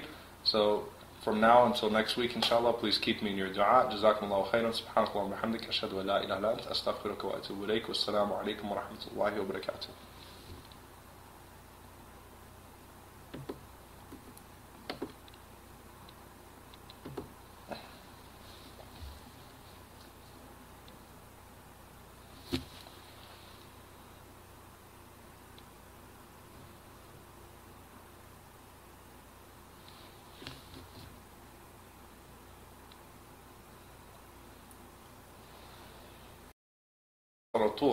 But the Prophet ﷺ here was, was basically giving us the etiquette of interfaith dialogue, if you will. Right? And when we're talking about previous nations, when we're talking about the people of the book, we should be very, very, very careful and we should not insult the other prophets of Allah subhanahu wa ta'ala, uh, you know, implicitly or explicitly and we should be extremely careful not to, you know, not to be imbalanced in our analysis of things. Even though Rasulullah again, he is certainly uh, the best of all of uh, of all of creation. And the other thing that Rasulullah is illustrating is this, and this is that we have a connection to Musa alayhi salam. We have a connection to the prophets of Bani Israel. This is something that is that is very important to us and very precious to us. That you know we feel close to the prophets of Bani Israel, the prophets who were harmed, and it hurts us that they were hurt. And and we're also, you know, pleased whenever Allah subhanahu wa ta'ala gave them victory. We celebrate their victories and we feel harmed and we feel hurt whenever we see that the prophets of Bani Israel uh, were hurt. And in particular, we find this hadith from the Prophet ﷺ, which Ashura, which is coming up very, very soon. When the Prophet ﷺ entered into Medina and he found the Jews were fasting. And he asked why they were fasting. And they were fasting because this was the day Allah subhanahu wa ta'ala gave Musa alayhi salam victory. And Rasulullah sallallahu he fasted that day and he said and he commanded the Sahaba to do so. And he said, awla bi Musa minkum. We are closer to Musa than you. So even though Musa alayhi salam certainly is a Rasul to Bani Israel, is a messenger to Bani Israel, um, you know, and in fact, their most significant one, as we'll see, we feel a closeness to Musa alayhi salam, right? Although he is not the messenger that was sent to us, we feel a closeness to him. And you know, the Prophet ﷺ also used to feel sorry uh, for, for what Musa alayhi went through. And this was a brotherhood that was amongst the Prophets themselves. Uh, as we know, when Rasulullah went, to, went through Al Isra wal Mi'raj, through the ascension, it was the advice of Musa alayhi salam You know, we owe Musa a great deal that uh, we're not praying 50 times a day because it was the advice of Musa ﷺ to the Prophet ﷺ to continue to go to Allah subhanahu wa ta'ala and to ask him to reduce the prayers. Musa ﷺ did not have a grudge against this ummah because this ummah was more responsive than his ummah. But Musa ﷺ wanted good for the Prophet ﷺ and he wanted good for the ummah. And this is a this is a hadith that, that I personally find very uh, you know heartwarming. that uh, and for the second part, not for the first part, which is from Abdullah ibn Mas'ud radiallahu ta'ala anhu, uh, narrated by Bukhari, that once Rasulullah was distributing uh, some of the spoils amongst the, amongst his uh, ummah, amongst the companions. And a person said to the Prophet sallallahu alaihi wasallam, "Ya Rasulullah, i'dil." He said to the Prophet sallallahu alaihi wasallam, "O Messenger of Allah, be just." Now, in an extended narration of this hadith, the Prophet ﷺ, uh, gives us the traits of the Khawarij. So the Prophet ﷺ focuses on this on this man, right, and how his uh, his offspring and the people like him would, would make up the group that we know to be Al Khawarij. But in this narration in particular, we find that the response of the Prophet ﷺ when he became angry, and Abdullah ibn Mas'ud said, he became so angry, I saw the signs of anger on his face, because this man was accusing the Prophet ﷺ of injustice. And Rasulullah ﷺ said, Yarhamullahu Musa. May Allah have mercy on Musa. قد أوذي بأكثر من هذا he was harmed with much worse than this, right? He was treated so much worse by his ummah. Right? Think about how the ummah of, of Musa salam treated him. Uh, over and over and over again. He was harmed many, many, many times. And in fact, all of the prophets of Bani Israel were harmed by their people. But Rasulullah was, was reminding himself here that he was harmed with much more than the Prophet was harmed with فَصَبَرْ But he still was patient. He still was patient. So we take lessons when we're looking at the story of Bani Israel, not just from the perspective of you know the mistakes that Bani Israel made, but we also learn from the patience that the that the prophets had with Bani Israel. And so there are many lessons to be learned um, in in in, uh, in different situations here. Uh, but obviously, the primary lesson and the reason why you know, almost half of the Quran is stories of the prophets of Bani Israel and the Ummah of Bani Israel is because they are the Ummah before us and we are very similar to them and we'll find very uh, frightening similarities till now. Uh, in fact, they're, they're emphasized now. Um, and Allah subhanahu wa ta'ala tells us not to be like them in their bad things, to learn from their good and to avoid their evil. And Allah subhanahu wa ta'ala says, for example, Ya ayyuhalladhina amanu la takunu kalladhina adha Musa. Don't be like the people who harm Musa salam. Right? So look at that hadith and look at that ayah. You know, don't be like those people that harmed their prophet, that harmed Musa alayhi salam. Uh, learn from their mistakes and do better. Uh, and it's important here to mention that when the Prophet ﷺ was sent, it was only a few people from Bani Israel that were still pleasing to Allah subhanahu wa ta'ala on this earth, as is narrated in Sahih Muslim Uh, Rasulullah said, Inna Allah nadara ila ahli al-ard. That before the Prophet was, was sent, right before the Bi'atha, right before he was sent, Allah subhanahu wa ta'ala looked to the earth. He looked to the people of the earth. فَوَقَتَهُمْ And he was displeased right? He hated them. The, the, the ones he was, he was displeased with them. عربهم وعجمهم. This was not a racial thing. The Arab and the foreigners, right? The Arab and the foreigners. And obviously the Prophet ﷺ is addressing the Arab here. إلا بقايا من أهل الكتاب except for a few leftovers, a few remnants of the people of the book who are Bani Israel, right? Who were still implementing uh, the truth or the closest to what they knew to be the truth, who were still upon Tawheed and monotheism. So it's, it's important for us to understand that there were a few people uh, from Bani Israel when the Prophet ﷺ was sent that were still upon, uh, or right before the Prophet ﷺ was sent, that were still upon the truth, and that number continued to diminish until the message was given uh, to the Prophet ﷺ. And not only do we learn from the Quran and the Sunnah uh, the lessons from Bani Israel for ourselves, but rather Allah subhanahu wa ta'ala says, إن هذا القرآن يقص على بني إسرائيل أكثر الذي هم فيه يختلفون. That verily this Quran relates to the children of Israel, to, through to Bani Israel, most of that over which they disagree. So it clarifies things to Bani Israel too. It doesn't just clarify things to us, it clarifies things to the people who, who still claim to be the people of the book.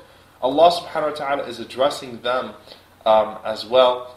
But obviously, for ourselves, kuntum khayra ummatin ukhrijat linnas. Allah subhanahu wa ta'ala tells us that you are the best nation that were sent towards people, not the Arab, the, the Muslims.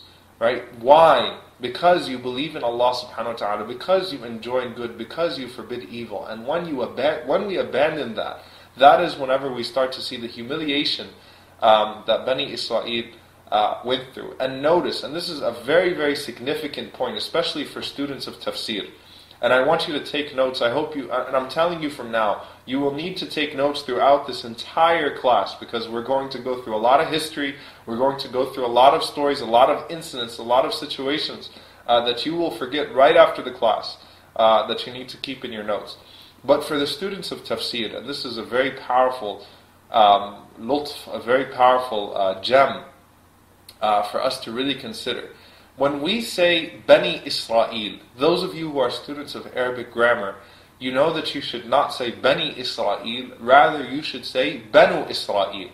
Right? There is no reason uh, to refer to them in the maksur form, right? With the kasra, Bani Israel. But rather when you're referring to them alone, right? Then you're talking about the beginning, you're talking about the mubtada, you're talking about Banu Israel. Why does why do we consistently say Bani Israel? Right? And the reason for that is that Allah subhanahu wa ta'ala consistently is addressing them in the Quran, Bani Israel.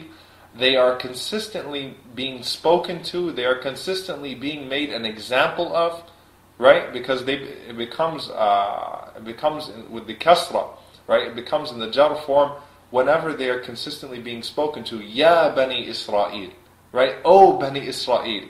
Allah subhanahu wa ta'ala admonishing them. Allah subhanahu wa ta'ala talking about the mistakes that they made. They're consistently being admonished and chastised in the Quran. So we've gotten used to saying Bani Israel. So with, with the kasra in the maksur form. Now, this is not just this is not an accident. I want you to think about this for a moment. There's only one ayah in the Quran, and Huffaz, you can start thinking right now as I'm speaking. One time in the Quran, Allah subhanahu wa ta'ala refers to Bani Israel as Banu Israel. And that is in Surah Yunus. And Allah subhanahu wa ta'ala says, وَجَاوَزْنَا بِبَنِي Israel." So first Allah subhanahu wa ta'ala says, we took the children of Israel um, uh, across the sea. فأتبعهم فرعون and then Fir'aun followed them وجنوده and his and his uh, and his soldiers uh, بغيا وعدوى with with uh, with tyranny and enmity and then Allah subhanahu wa ta'ala says حتى إذا أدركه الغرق until drowning overtook him meaning Fir'aun قال آمنت أنه لا إله إلا الذي آمنت به بنو إسرائيل وأنا من المسلمين Fir'aun said, I believe that there is no God worthy of worship except for the one who Bani, who Banu Israel, not Bani Israel, who Banu Israel believed in, and I am from the Muslims. This is the only time Allah subhanahu wa ta'ala refers to them in the rafa, in the marfu' form, right? And this is linguistic, but at the same time, uh, one the benefit that we can take from this is كسرهم الله as, as, as the scholars would say, linguistically with fi'liyan, right? With uh, not only did Allah Subhanahu wa Taala break them by calling them Bani Israel linguistically, but, at, but rather they're consistently being spoken at. It's a message for us that they are Bani Israel. But the only time Allah referred to them as Banu Israel was whenever their name came bimaqam tawheed with the station of tawheed with the station of monotheism with the recognition of Allah subhanahu wa ta'ala's oneness. At those moments when they were low, when they were following Musa alayhi salam, uh, and, and Fir'aun is expressing his belief, and obviously it was too late then, uh, in the same God that Banu Israel believed in. And that is the only time that they are marfu' uh, not just linguistically, but fi'liyan, but in action whenever Banu Israel, whenever their name comes, be maqam tawheed, in a, in a station of monotheism. Those of you who aren't students of the Arabic grammar, you probably missed that entire point, but I hope not, inshallah. Just review it a few times and you'll understand what I'm talking about. Then immediately, this obviously, this situation is right before, you know, right while they're passing through the Red Sea, immediately after they pass through the Red Sea, as we find, as we'll study, that is when they all they, they start to give Musa alayhi salam problems over and over and over again. And so they are consistently, again, uh, rejecting and not responding properly to the ni'am, to the blessings of Allah subhanahu wa ta'ala upon them. Now, as we go through the stories of Bani Israel, there are a few things to take into consideration. Number one, uh, the hadith of Abdullah ibn Amr ibn anhu, and I apologize, this is a very lengthy introduction to the class, but this, this topic needs a lot of maturity, uh, especially for a student of knowledge. Uh, Rasulullah said in, in, the hadith of Abdullah ibn Amr ibn As radiallahu anhu in Sahih al-Bukhari, بَلِّغُوا عَنِّي وَلَوْ آيَةً Convey my, you know, convey upon me, convey my message, even if it's just one verse. وَحَدِّثُوا عَنْ بَنِي إِسْرَائِيلَ وَلَا حَرَجٍ And speak of the reports of Bani Israel, and there is nothing wrong with that. وَمَنْ كَذَبَ عَلَيَّ مُتَعَمِّدًا and whoever lies upon me, whoever tells a lie upon me, um, intentionally, فَلْيَتَبَوَّأْ مَقْعَدَهُ مِنَ النَّارِ So let him choose his place in the hellfire. Uh, so the Prophet ﷺ here is telling us, حَدِّثُ عَنْ بَنِي إِسْرَائِيل وَلَا حَرَجْ Speak about the children of Israel.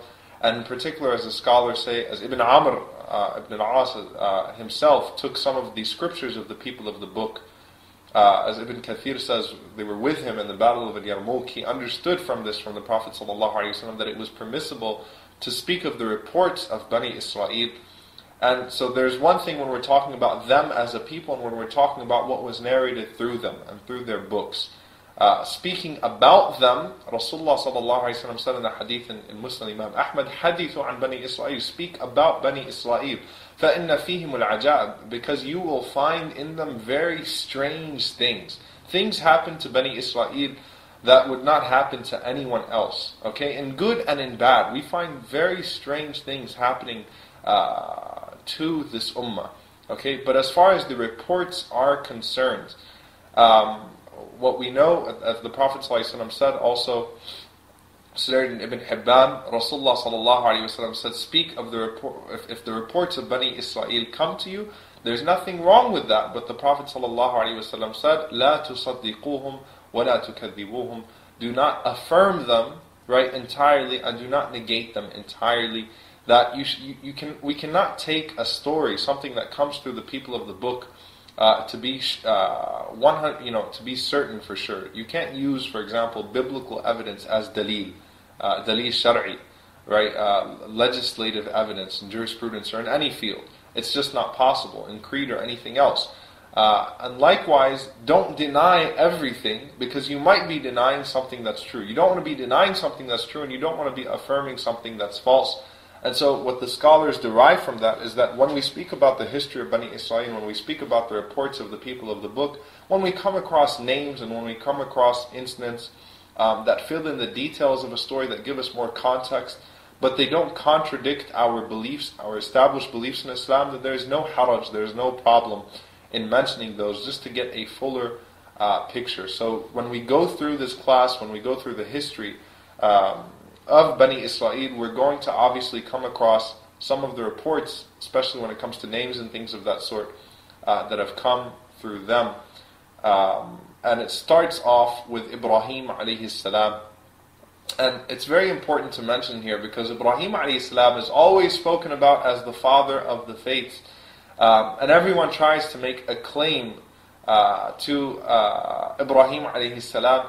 And Allah subhanahu wa ta'ala mentions to us about Ibrahim alayhi salam, the very, a very important point. Allah subhanahu wa ta'ala says, مَا كَانَ إِبْرَاهِيمُ Yahudiyan wala Nasraniya. Ibrahim was not a Jew, he was not Yahudi, nor was he a Christian, but rather he was Hanif and Muslima. He was a, a, a monotheist, a Muslim, one who submitted to Allah subhanahu wa ta'ala. وَمَا كَانَ مِنَ الْمُشْرِكِينَ And he was not from uh, the, the disbelievers. And Allah subhanahu wa ta'ala says that the ones who have the most right to Ibrahim, لَلَّذِينَ اتَّبَعُوهُ Right, are the ones who follow him it's not his it's not his lineage that you know or, or, people that can directly trace their lineage to him it's not the pe- children of ishaq it's not the children of ismail it is whoever follows ibrahim alayhi salam whoever follows the sunnah whoever follows the message of ibrahim salam has the most right to him and there's this misconception i've heard it from muslims all the time that abraham was a jew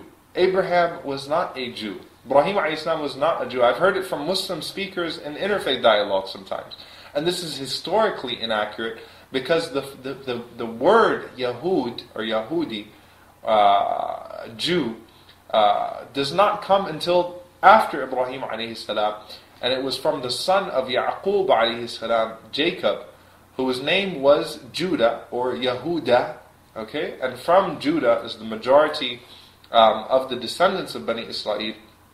And from them they have that laqab, that name of Yahud, of the Jews. So Ibrahim alayhi salam really stands as the father um, of this all. And just to kind of give you, it's important to understand the geography of this all. Now, obviously, those of you who took Surah Maryam with me, we covered the story of Ibrahim salam in detail. Um, but but let's just go through geographically what happens with Ibrahim salam and how the tribe, how Bani Israel is born in the first place. As we know, um, Ibrahim salam married first and foremost Sarah. Sarah radiallahu anha. And Sarah, uh, when Ibrahim salam wanted to get married, uh, you know, his family uh, encouraged him to marry inside of the family. So Sarah was related to Ibrahim alayhi salam. She was a cousin of Ibrahim alayhi salam.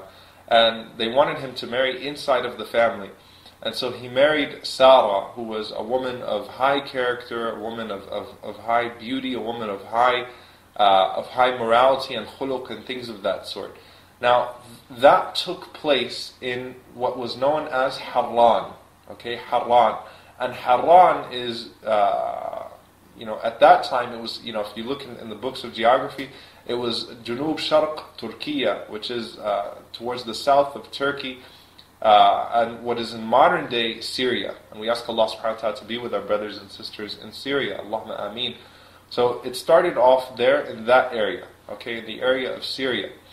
Whenever Ibrahim alayhi salam married Sarah, they, he continued to do da'wah to his people, to his father, and Sarah believed in him.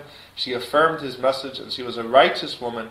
And of course, as we know, Ibrahim salam was rejected by his father, he was rejected by his people. And when he left uh, his area, when he left his people, the only ones that believed in him were Sarah and his cousin Lut alayhi salam.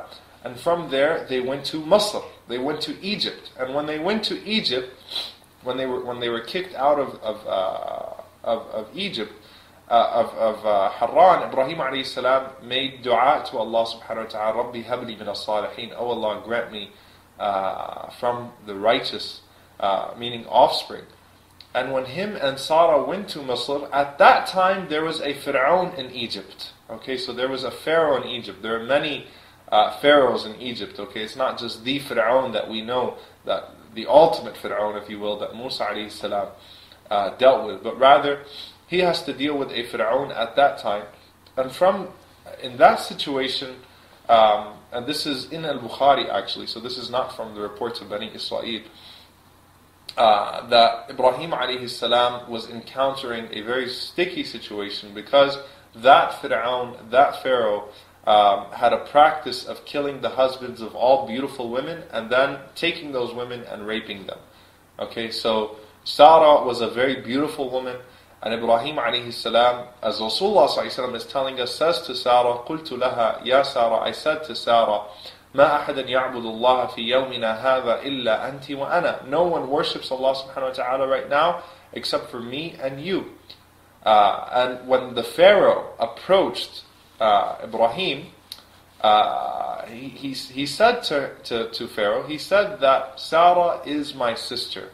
وَلَقَدْ قُلْتُ لَهُ أَنَّكِ أُخْتِي I said that you are أختي, my sister. And he wasn't lying because she is his sister in faith, obviously. so he knew that Sarah was going to be approached.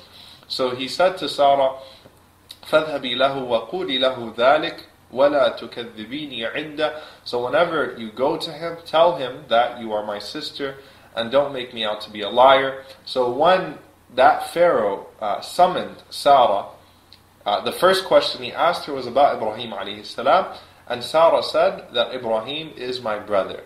Then as he then when after he asked that question, he immediately approached Sarah to touch her. Right? He immediately approached her to touch her and to do what he always did. and whenever he did that, she made dua against him, and he became paralyzed, right? Temporarily paralyzed. So he said to Sarah, as he was paralyzed, he said, you know, uh, make dua, just as you made dua against me, make dua uh, to your Lord to free me, and I won't touch you again. I won't even, I won't try to do it again. So Sarah made dua to Allah subhanahu wa ta'ala to free him, and he was freed, and he approached her again, Right? So he didn't learn his lesson. He approached her again, and she made dua against him again, and he was frozen again. He was paralyzed again. And he said, Make dua to your Lord, you know, call upon him again to free me, and I promise you I won't do it again. So she did that, and he approached her again, and she made dua against him again. And then at that point, he said, Look, make dua to your Lord. This is three strikes, you're out, right? Make dua to your Lord to let me go, to get me out of the situation. Not only um, will I uh, will I you know not touch you, but I'll let you go free, and I'll also give you a gift. Right? So he made dua. So she made dua. Sarah made dua to Allah Subhanahu wa Taala to free him, and he gave her. Uh, he freed her. He let her go, and he gave her Hajar. Hajar, which means Ha ajruka. This is your gift. This is your compensation. Uh, Hajar, our mother Hajar, um, alayhi salam, radiyallahu anha. So, anyway, geographically speaking, now the family of Ibrahim settles in Misr uh, temporarily, and then eventually uh, Allah subhanahu wa ta'ala would bless uh, Ibrahim alayhi salam with Ismail alayhi salam through Hajar, as we all know, and he would settle them in Mecca, and Allah subhanahu wa ta'ala would command Ibrahim alayhi salam to leave them there. Then he would settle with Sarah in Al Iraq, in the area of Iraq now. Okay, so we went from Haran to uh, Egypt, now to Al Iraq, and in Iraq, who was born?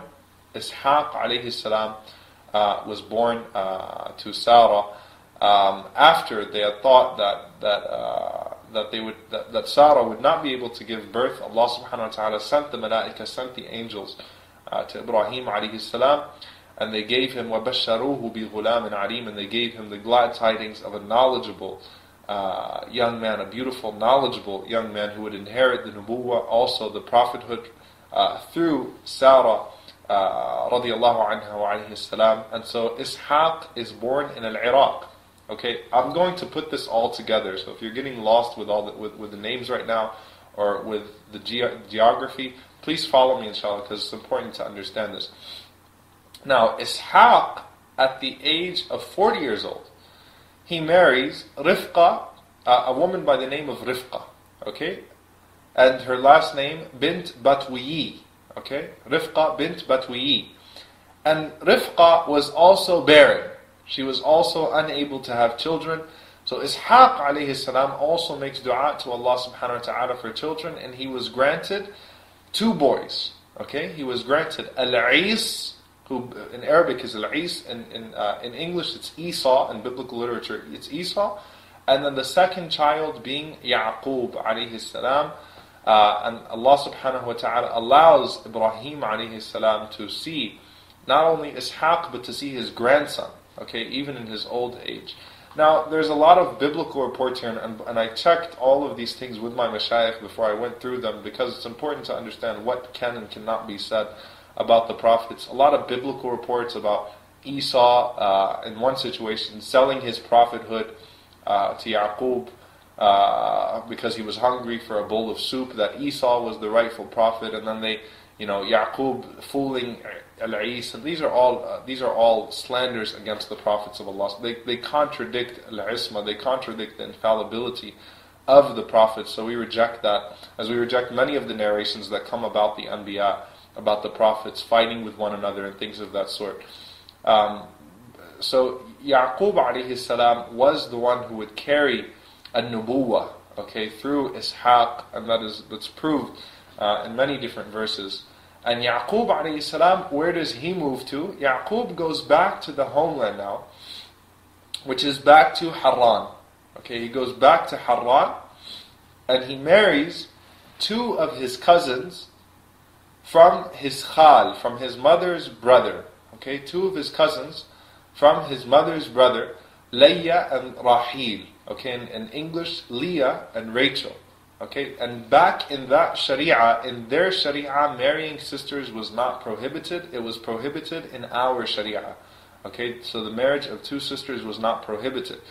So through that, ya- Yaqub would have a total of four wives, and this is, by the way, not not only this is not what we're saying. Four wives, even in biblical tradition, um, and three of them could give birth. Okay, three of them could give birth, and one of them could not give birth. Okay, so from the others, from three, he has ten boys. Yaqub alayhi salam has ten boys. And then he has one wife who is Rahil, who is Rachel, and Rahil could not give birth. So she made dua, and she was the most righteous. She made dua to Allah subhanahu wa ta'ala. This shows you, by the way, when we're talking about the, the most righteous people coming, we look at the parents always. When we look at the dua of the parents, just like the mother of Maryam alayhi salam. Right? It starts with the parents, the dua and the actions of the parents. So uh, Rahil makes dua to Allah subhanahu wa ta'ala for a righteous child. Right? A righteous child. And she was a, a most righteous woman. And Allah subhanahu wa ta'ala, let's look at this, gives her Yusuf alayhi salam. Right? The first child she gets is Yusuf alayhi salam. And the, you know, the other wives, uh, you know, they, they, she was looked down upon basically amongst the wives of Yaqub because she could have no children. The other wives were having children. Uh, so, you know, in society, obviously, a barren woman was looked down upon. Uh, even till now, unfortunately, in many situations, although it should not be that way, was looked down upon. And Allah subhanahu wa ta'ala gave her, you know, a son as a result of her dua, Yusuf alayhi salam, not only not any type of son, but rather a prophet of Allah subhanahu wa ta'ala, and also a person in whom half of beauty was put in him. You know, think about that. Right? Not only a cute kid, we're not talking about a cute baby here. We're talking about a child that has half of the beauty that Allah subhanahu wa ta'ala um, had created. So that's the first son she's given. And then she's given a second son. And that second son is Benjamin, Benjamin, alayhi salam. Now, when she was in labor with Benjamin, she passed away. Okay, so she died while she was giving birth to Benjamin, to Benjamin, the younger brother of Yusuf alayhi salam. And uh, that, that obviously is a form of shahada, a form of martyrdom, as we know uh, from the Prophet sallallahu alaihi wasallam. Now, when Yusuf, so Yusuf and Benjamin would be forced to live with the other 10 brothers. Right? So now they are 12 uh, brothers. Uh, Yaqub alayhi salam, at that point, and I hope you've been taking notes. If not, you can review the video, alhamdulillah. At that point, Yaqub alayhi salam moves his entire family to Palestine. Okay? To Palestine. And uh, in, in, the area of Palestine, Canaan, okay, this so the biblical name of it would be Canaan uh, in English Canaan, C A N A A N. And there, uh, we there is where we have the story really starting to unfold of the origin of Bani Israel. As uh, as we know, Yaqub alayhi salam is named not just Yaqub, but he's also named Israel. So the name of Yaqub is Israel. This is not just biblical, but this is also in the Quran, Israel. Now, what we would differ uh, with with uh, with the people of the book, obviously, is the way that Yaqub was named Israel. Uh, the biblical tradition is that he wrestles with an angel, and an angel breaks his thigh, and there's still a portion of the thigh, by the way, that's not kosher till today Uh, that's not kosher to be eaten because that's the angel, that's the place where the angel broke the thigh of Yaqub according to them. وَسَمَّاهُ الْمَلَكِ And the angel named him Israel. So they have an entire story of an angel wrestling with Yaqub alayhi salam. In Islam, we, you know, uh, uh, you know, what's affirmed is that indeed an angel did name Yaqub alayhi salam Israel. Why Israel? Because Israel and subhanAllah, I've been asked this question many, many, many times in many tafsirs and things of that sort. Why is his name Israel? Right? Because Israel in their language meant Abdullah, the slave of Allah. Okay, so this was a form of honor being bestowed upon him. That Allah subhanahu wa ta'ala sammahu, Allah named him Abdullah upon Yaqub alayhi salam. So his name was Israel alayhi salam also. So Israel, at that point, the grandson of Ibrahim alayhi salam, with his 12 kids, uh, through the 12 kids, their descendants, they become Bani Israel. And the 12 tribes here that are, are, recognized in the Quran as Al Asbat. Okay, so the, the, the tribes um, of Israel, the tribes of Bani Israel. Now, obviously, from there, we're all very familiar with the story of Yusuf alayhi salam. Uh, so I won't spend too much time on that, but it's but there's a very important uh, lesson here to be learned. The jealousy that we see taking place now between the ten children of Yaqub alayhi salam, and particularly Yusuf alayhi salam and Benjamin alayhi salam to a lesser extent. Part of it is that there is a jealousy that was between the mothers for the mother of Yusuf and Benjamin. Okay, there was a jealousy for, for her, obviously, because look at who she's the mother of. You know, she is the mother to Yaqub's most beloved and most beautiful children. And from there, we know that not only that, not only were they already, you know, more beautiful, uh, more beloved to Yaqub alayhi salam, and inheriting a nubuwa, inheriting prophethood, but rather we find that Yusuf alayhi salam has that dream, that special dream that we know about in Surah Yusuf and it's very important here to take heed. When Yusuf alayhi salam comes to his father and says to his father that إني رأيت عشر كوكبا والشمس والقمر رأيتهم لي ساجدين that verily I saw ten stars and I saw the sun and the moon all of them prostrating to me all of them making sujood to me the first thing that Yaqub alayhi salam says to him لا تقصص رؤياك على إخوتك فيكيدوا لك كيدا do not narrate this dream to your brothers because they will plot an evil plot against you. Why did Yaqub alayhi salam say that to him? And we can take some we can take many lessons from that. The Prophet ﷺ told us that if you have a good dream, if one of you sees a good dream, you should share it. So the Sahaba used to share their good dreams with the Prophet ﷺ in the company of other Sahaba. But the scholars also derive something very important that you should only share a good dream with those who wish good for you, who you think would want good for you, who, who are not in competition with you, who are, who are not going to feel threatened by uh, your good dream. Right? So Yaqub alayhi is saying, you know, it's good that he didn't chastise Yusuf alayhi for sharing the dream with him, but he said, La taqsus ru'yaka ala ikhwatik. Don't share your dream with your brothers. And he did not share his dream um, with his brothers. But as we know, they were very jealous of him. Uh, you know, they, they plotted first initially for his murder until the oldest one said, you know, and this was his form of generosity, right? Unfortunately, fi leave him in the well. Uh, you know, instead of killing him, let's just leave him in the well and let's just abandon him, and maybe something will happen. Maybe something will take place from there. So so that was the, the most generous of the brothers of Yusuf alayhi salam. There's something very important here that hasad and jealousy and envy could take place even in the house of nubuwa, even in a house of prophethood. I mean, you look at the very, this is not just the origin of Bani Israel, this is the origin of mankind.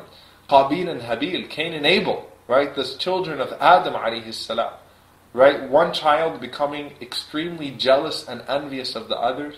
And envy and hasad can lead to very, very evil things. So it's very important for us to take heed of that, that this is the start of that. And obviously, we know that because I just wanted to give you the history of Bani Israel, a background of the history of Bani Israel. From there, Yusuf alayhi salam endures trial after trial after trial until Yusuf alayhi salam becomes the Aziz of Egypt, the minister of Misr. Palestine, which was the area that Yaqub salam and the rest of the family lived in, was struck by famine. And of course, as we know throughout the, the, the surah of Yusuf, that the brothers came to Yusuf salam, not knowing he was Yusuf. They went to the Aziz of, of Masr, the minister of Egypt, and they hadn't seen Yusuf salam since he was a young boy, asking for help. Eventually, at the end of Surah Yusuf, as we know, the entire family of Yaqub salam migrates where? To Masr. They migrate, they migrate to Egypt. And in Egypt, uh, Udkhulu Misr Aminin. Egypt was the stable place at that time under Yusuf alayhi salam.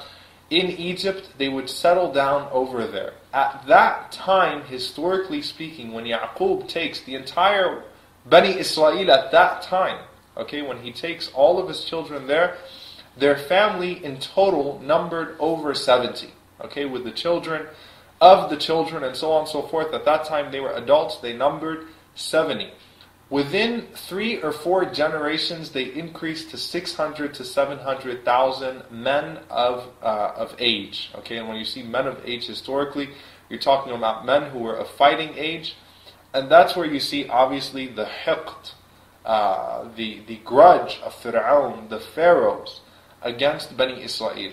Generally speaking, as they grew in number, they started to become subjugated because they were threatening. Uh, they were threatening uh, the establishment at that time just by their very number as they started to grow in number. And Allah subhanahu wa ta'ala continued to send them prophets. So there were many prophets between Yaqub alayhi salam, Israel alayhi salam, and Musa alayhi salam. Okay, many prophets in that span that Allah subhanahu wa ta'ala tells us about and the way that they treated their prophets. So we'll talk about that. That came to them to remind them. Um, but the point that I want to make here, obviously, just giving the historical background when we're talking about the geography. Next week, inshallah, as we start, we'll start going through their characteristics and things of that sort. The point is, is that they were settled in Misr. They were settled in Egypt, and uh, in Palestine there was already a settled town. Okay, there was already a settled group of people there.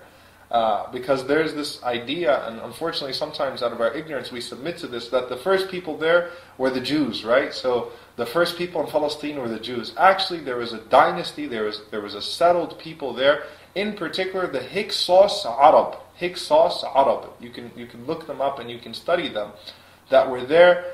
And they, this was a powerful group of Arabs that actually at one point even conquered Egypt okay, at one point fought from Palestine and conquered Egypt, and Bani Israel came under their power at one point, and they ruled Misr for 30, for, for 300 years, for approximately 300 years.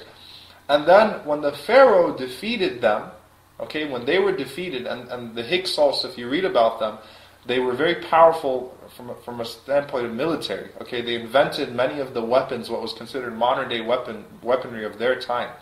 Uh, they were defeated by the Pharaoh and they were run back out to Palestine. Where did Bani Israel go? Nowhere. Because Bani Israel was not settled in the area of Palestine. Bani Israel remained subjugated under the various lines of pharaohs that would come. The you know the the the succession of Fir'aun after Fir'aun after Fir'aun after Fir'aun, and the the pharaohs always hated Bani Israel. They consist they hated Bani Israel. Um, from the time of Ibrahim alayhi salam. There was a consistent hate towards them, and they were subjugated and they were tortured. Uh, but but you know the, the torture was was more of mental humiliation and subjugation and slavery. But rather, when Fir'aun, the Fir'aun, okay, had the dream that a child would be born from Bani Israel that would dethrone him, that is when Fir'aun killed all of the babies of Bani Israel except for the one who Allah subhanahu wa ta'ala spared, being Musa alayhi salam. Uh, whenever he inspired the mother of Musa alayhi salam uh, to put Musa alayhi salam into the river, and we all know the story from there, and we'll go from there inshallah ta'ala next week when we talk about the start of Musa alayhi salam and Musa alayhi salam's interaction with Bani Israel. But there's there's an extremely important point here, and that is that we find, by the way, as we covered all of these different regions that Bani Israel traveled through, um, you know, there are Zionists until today that claim that Israel is not just Palestine, by the way, but rather that Israel is from the Euphrates in Iraq to the Nile in Egypt. Okay, that this entire region through which Bani Israel traveled through in this time and these are our prophets, these are beloved people to us, right? When we're talking about the prophets of Allah subhanahu wa ta'ala, the origins of Bani Israel. But this entire land through which Yaqub alayhi salam, through which Ibrahim alayhi salam, until Yaqub alayhi salam, until his children traveled throughout, is actually rightfully the biblical land of Israel. And subhanAllah, you can see how, how ridiculous and how skewed uh, you know, that, that claim uh, truly is. But this is just to kind of give you a background of that. Now, throughout these, these next five weeks, what we're, what we're going to do, inshallah ta'ala, we are going to go through all of the ayat and all of the ahadith that talk about the characteristics of Bani Israel, and we'll also cover it chronologically in a way that we can understand. Today was just a, a, a background of who Bani Israel was. Um, I hope that you didn't get lost in all of the history, but again, go through, review the video, uh, review the lecture, take notes as to as to like where the Prophet settled. It'll all start to come around, inshallah ta'ala, in the next few weeks. Uh, you can register for the class, inshallah, online at ilftexas.org, uh, or if you have an, a, a Inflix, a membership, uh, you have free access to this class um, and to all of the other classes. So inshallah ta'ala now I'll go ahead and I'll take questions. أقول قولي هذا واستغفر الله لكم ولسائر المسلمين uh, and inshallah ta'ala, I'll go ahead and I'll take questions on the social stream. Um,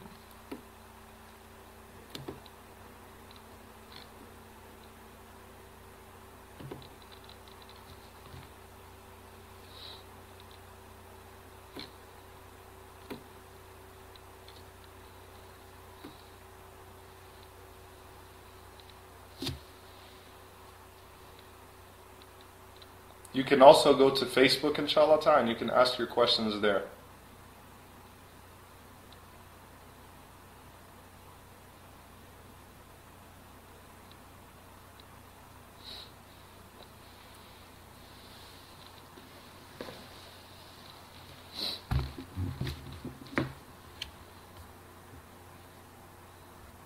So you can go to Facebook and you, you can ask your questions on the event page.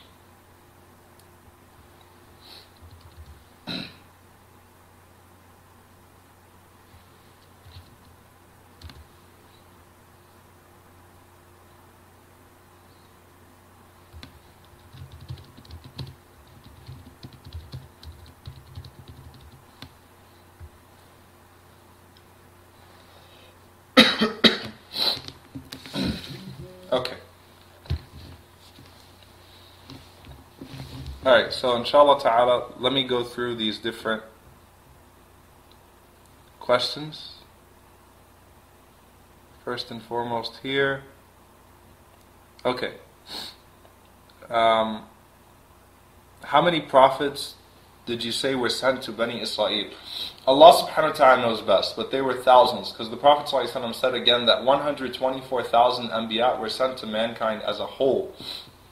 So Bani Israel obviously is the lar- being the largest ummah after the ummah of the Prophet ﷺ received many many different um, uh, received many different prophets in that time span, but we don't have an exact number of that.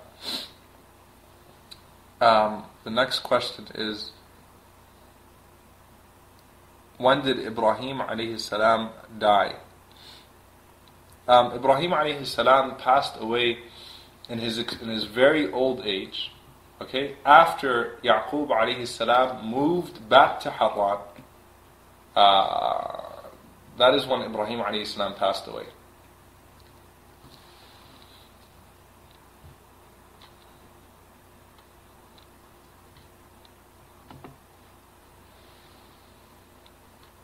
Okay. Um, how many generations after Yusuf alayhi salam, after Yaqub alayhi salam, did it expand to 6,000 or 600,000? It expanded to 600,000. Uh, who is Hajar? Hajar is the mother of Ismail alayhi salam. So obviously from the descendants of Hajar and Ismail, we find Rasulullah sallallahu alayhi wasallam, and that is the ummah of the Prophet sallallahu alayhi wasallam.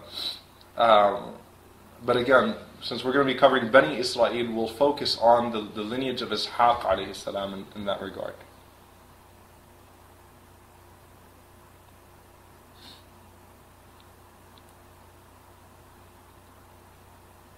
Yes, I will cover how this is re- related to the revelations being sent to the Prophet. Will Muhammad be raised first on the day of judgment or Musa? Allah knows best because even the Prophet did not know. But the Prophet ﷺ said that, that he would be raised first, but he would find Musa ﷺ already there at the throne of Allah. So Rasulullah ﷺ said he does not know if it's because Musa ﷺ would have been raised first or because Musa ﷺ would have been spared from the shock. Uh, you gave reference of a hadith in Muslim Imam Ahmad in the beginning of the class. Can you repeat it?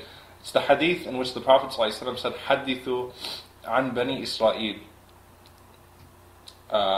فإن فيهم العجائب that speak of Bani Israel because verily uh, um, uh, we find amazing occurrences happening with them. Amazing things happen to them.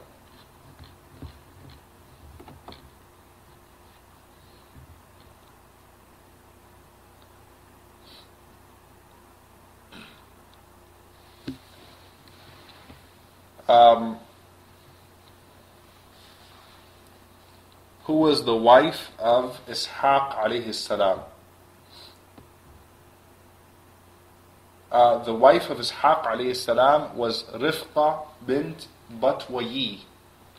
Okay, Batwayi. I'm sorry, not with the ta, with the ta. Rifqa bint Batwayi. Um, I forgot to look up the English. I believe in English it's maybe. Uh, I forgot to look up the English equivalent of that, but her name is Rifqa.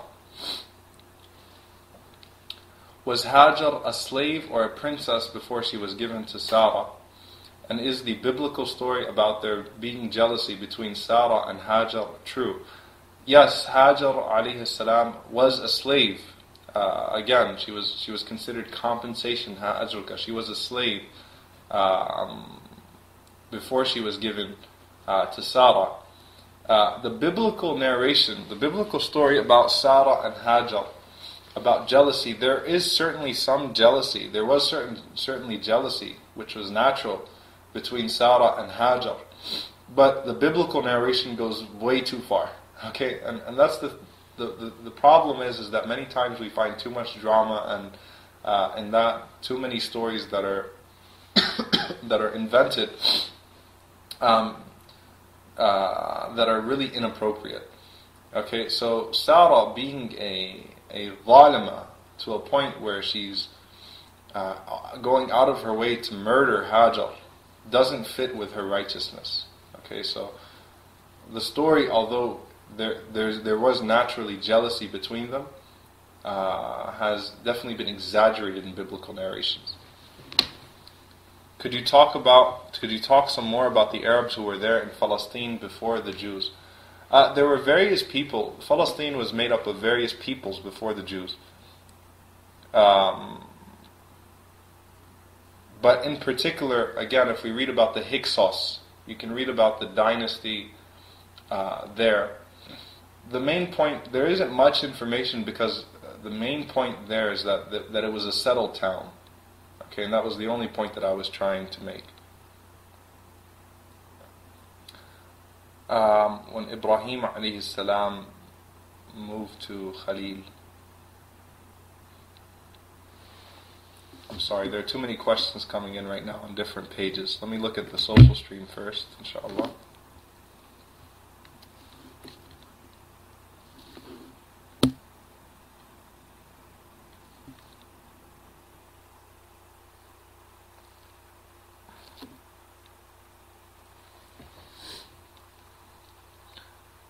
Is it true that to say that Hajar was the Pharaoh's daughter? Allahu alam. No, he was. She was a slave. Allahu alam.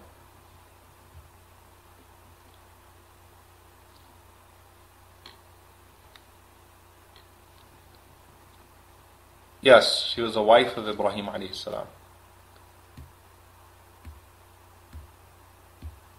For what reasons did Allah subhanahu wa ta'ala bestow blessings upon Israel, upon Bani Israel, if He knew that they would betray Him?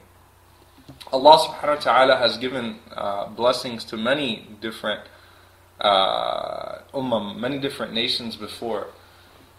Um, again, this is more of a question of qada and qadar. This is more of a question of divine decree. Okay, and the question here, and, and the idea here is Allah subhanahu wa ta'ala did not force them into isyan, did not force them into disobedience. Allah subhanahu wa ta'ala gives blessings to people, and if they disobey Him, then the punishment of Allah subhanahu wa ta'ala would fall upon them. Uh, but that is that knowledge is reserved purely to Allah subhanahu wa ta'ala alone, solely to Allah. What is the difference between a Nabi and a Rasul?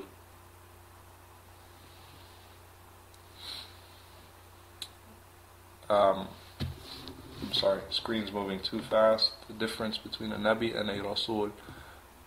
Thought there were only four books revealed, four Rasul, uh, four Rasul. No, so the difference between a Nabi and a Rasul is that a Rasul brings a new form of legislation. He brings a new message, whereas a Nabi uh, reinforces the previous uh, the previous message. And that was the position of Imam Ibn Taymiyyah rahimahullah much discussion on that. There were 315 rusul, 315 messengers. There was there were many books, okay, many mushafs, many suhuf, pages that were uh, that were revealed. Um, because every Rasul will bring a new message. Some scriptures were smaller than others. So, for example, Imam Ibn al-Qayyim rahimahullah, when he describes the Injil of Isa alayhi salam, the true Gospels of Isa alayhi salam, and Imam Ibn al-Qayyim rahimahullah, he says that uh, the Injil was, was a very small book and it was only a supplement to the Torah. Okay, it abrogated a few things.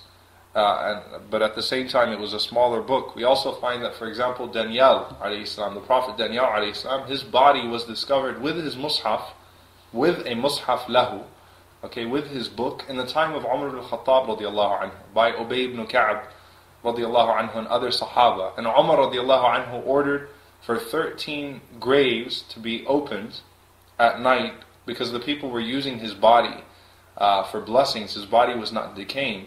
Umar ibn Khattab radiallahu anhu ordered 13 graves to be opened and uh, and for him to be placed in, in one of those graves without the people knowing which one so that the people would not do shirk with those graves. Okay, so it shows us the aqidah of Umar by the way. Uh, you know, in terms of, and the Sahaba, right, in terms of uh, the way that they understood graves and things of that sort. Okay, so there were many mushafs, many different, um, many different books that were revealed.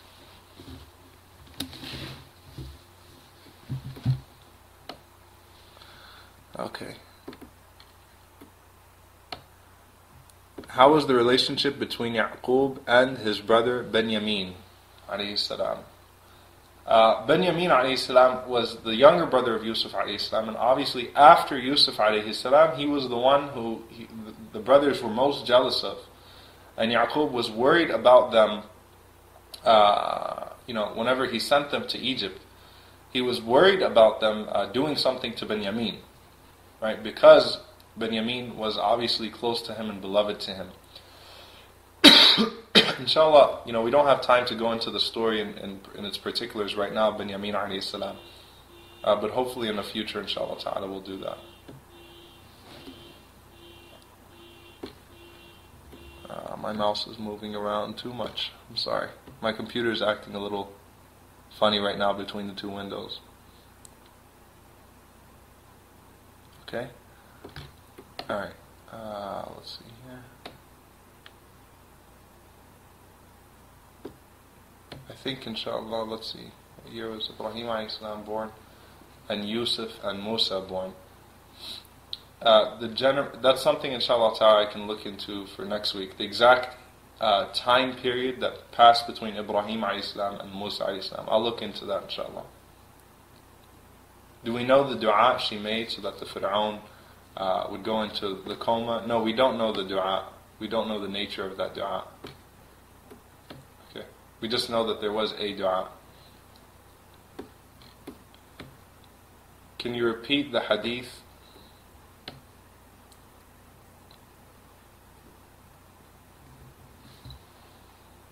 of the Sahaba and the Jew, of the Sahabi and the Jew. This hadith was in al Bukhari that uh, this this Muslim man was arguing with the Jewish man, and the Muslim took an oath and he said, uh, "By him who has preferred Muhammad over all the people."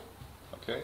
And the Jew responded by him who has preferred Musa over all the people. And so the Muslim raised his hand and he slapped the Jew and the Jew went and complained to the Prophet ﷺ, um, to, uh, and uh, Rasulullah ﷺ responded by saying, Do not give me superiority over Musa ﷺ, for the people will become unconscious on the day of judgment, and I will be the first to gain consciousness to see Musa ﷺ already standing and holding a side of Allah's throne. I will not know if he has been amongst those people who have become unconscious and that he has gained consciousness before me, or has he been amongst those whom Allah subhanahu wa ta'ala has um, exempted? Okay. And that's from Abu Hurairah in al-Bukhari. Uh, where did you say Haran is? Haran is in modern day Syria. Okay, modern day Syria. Right. Inshallah ta'ala, with that, I'm going to go ahead and conclude. Please continue to ask your questions on the thread on Facebook now, since the social stream will be closed and I will, inshallah ta'ala, answer those questions um, uh, throughout the week. Uh, uh, inshallah ta'ala, please do go ahead and sign up for next week, inshallah, and for the rest of the class, and you can encourage others to do so also. And I hope, inshallah, there will be some benefit in it for all of you. I'm really excited about this class because this is a very unique class, and it's one that I'm learning a lot just preparing. Uh, so we'll go through all of the ayat and all of the ahadith about Bani Israel. So from now until next week, inshallah, please keep me in your dua. Jazakumullahu khairan. Subhanakallah wa bihamdik. Ashhadu an la ilaha illa ant. Astaghfiruka wa atubu ilayk. Wassalamu alaikum wa rahmatullahi wa barakatuh.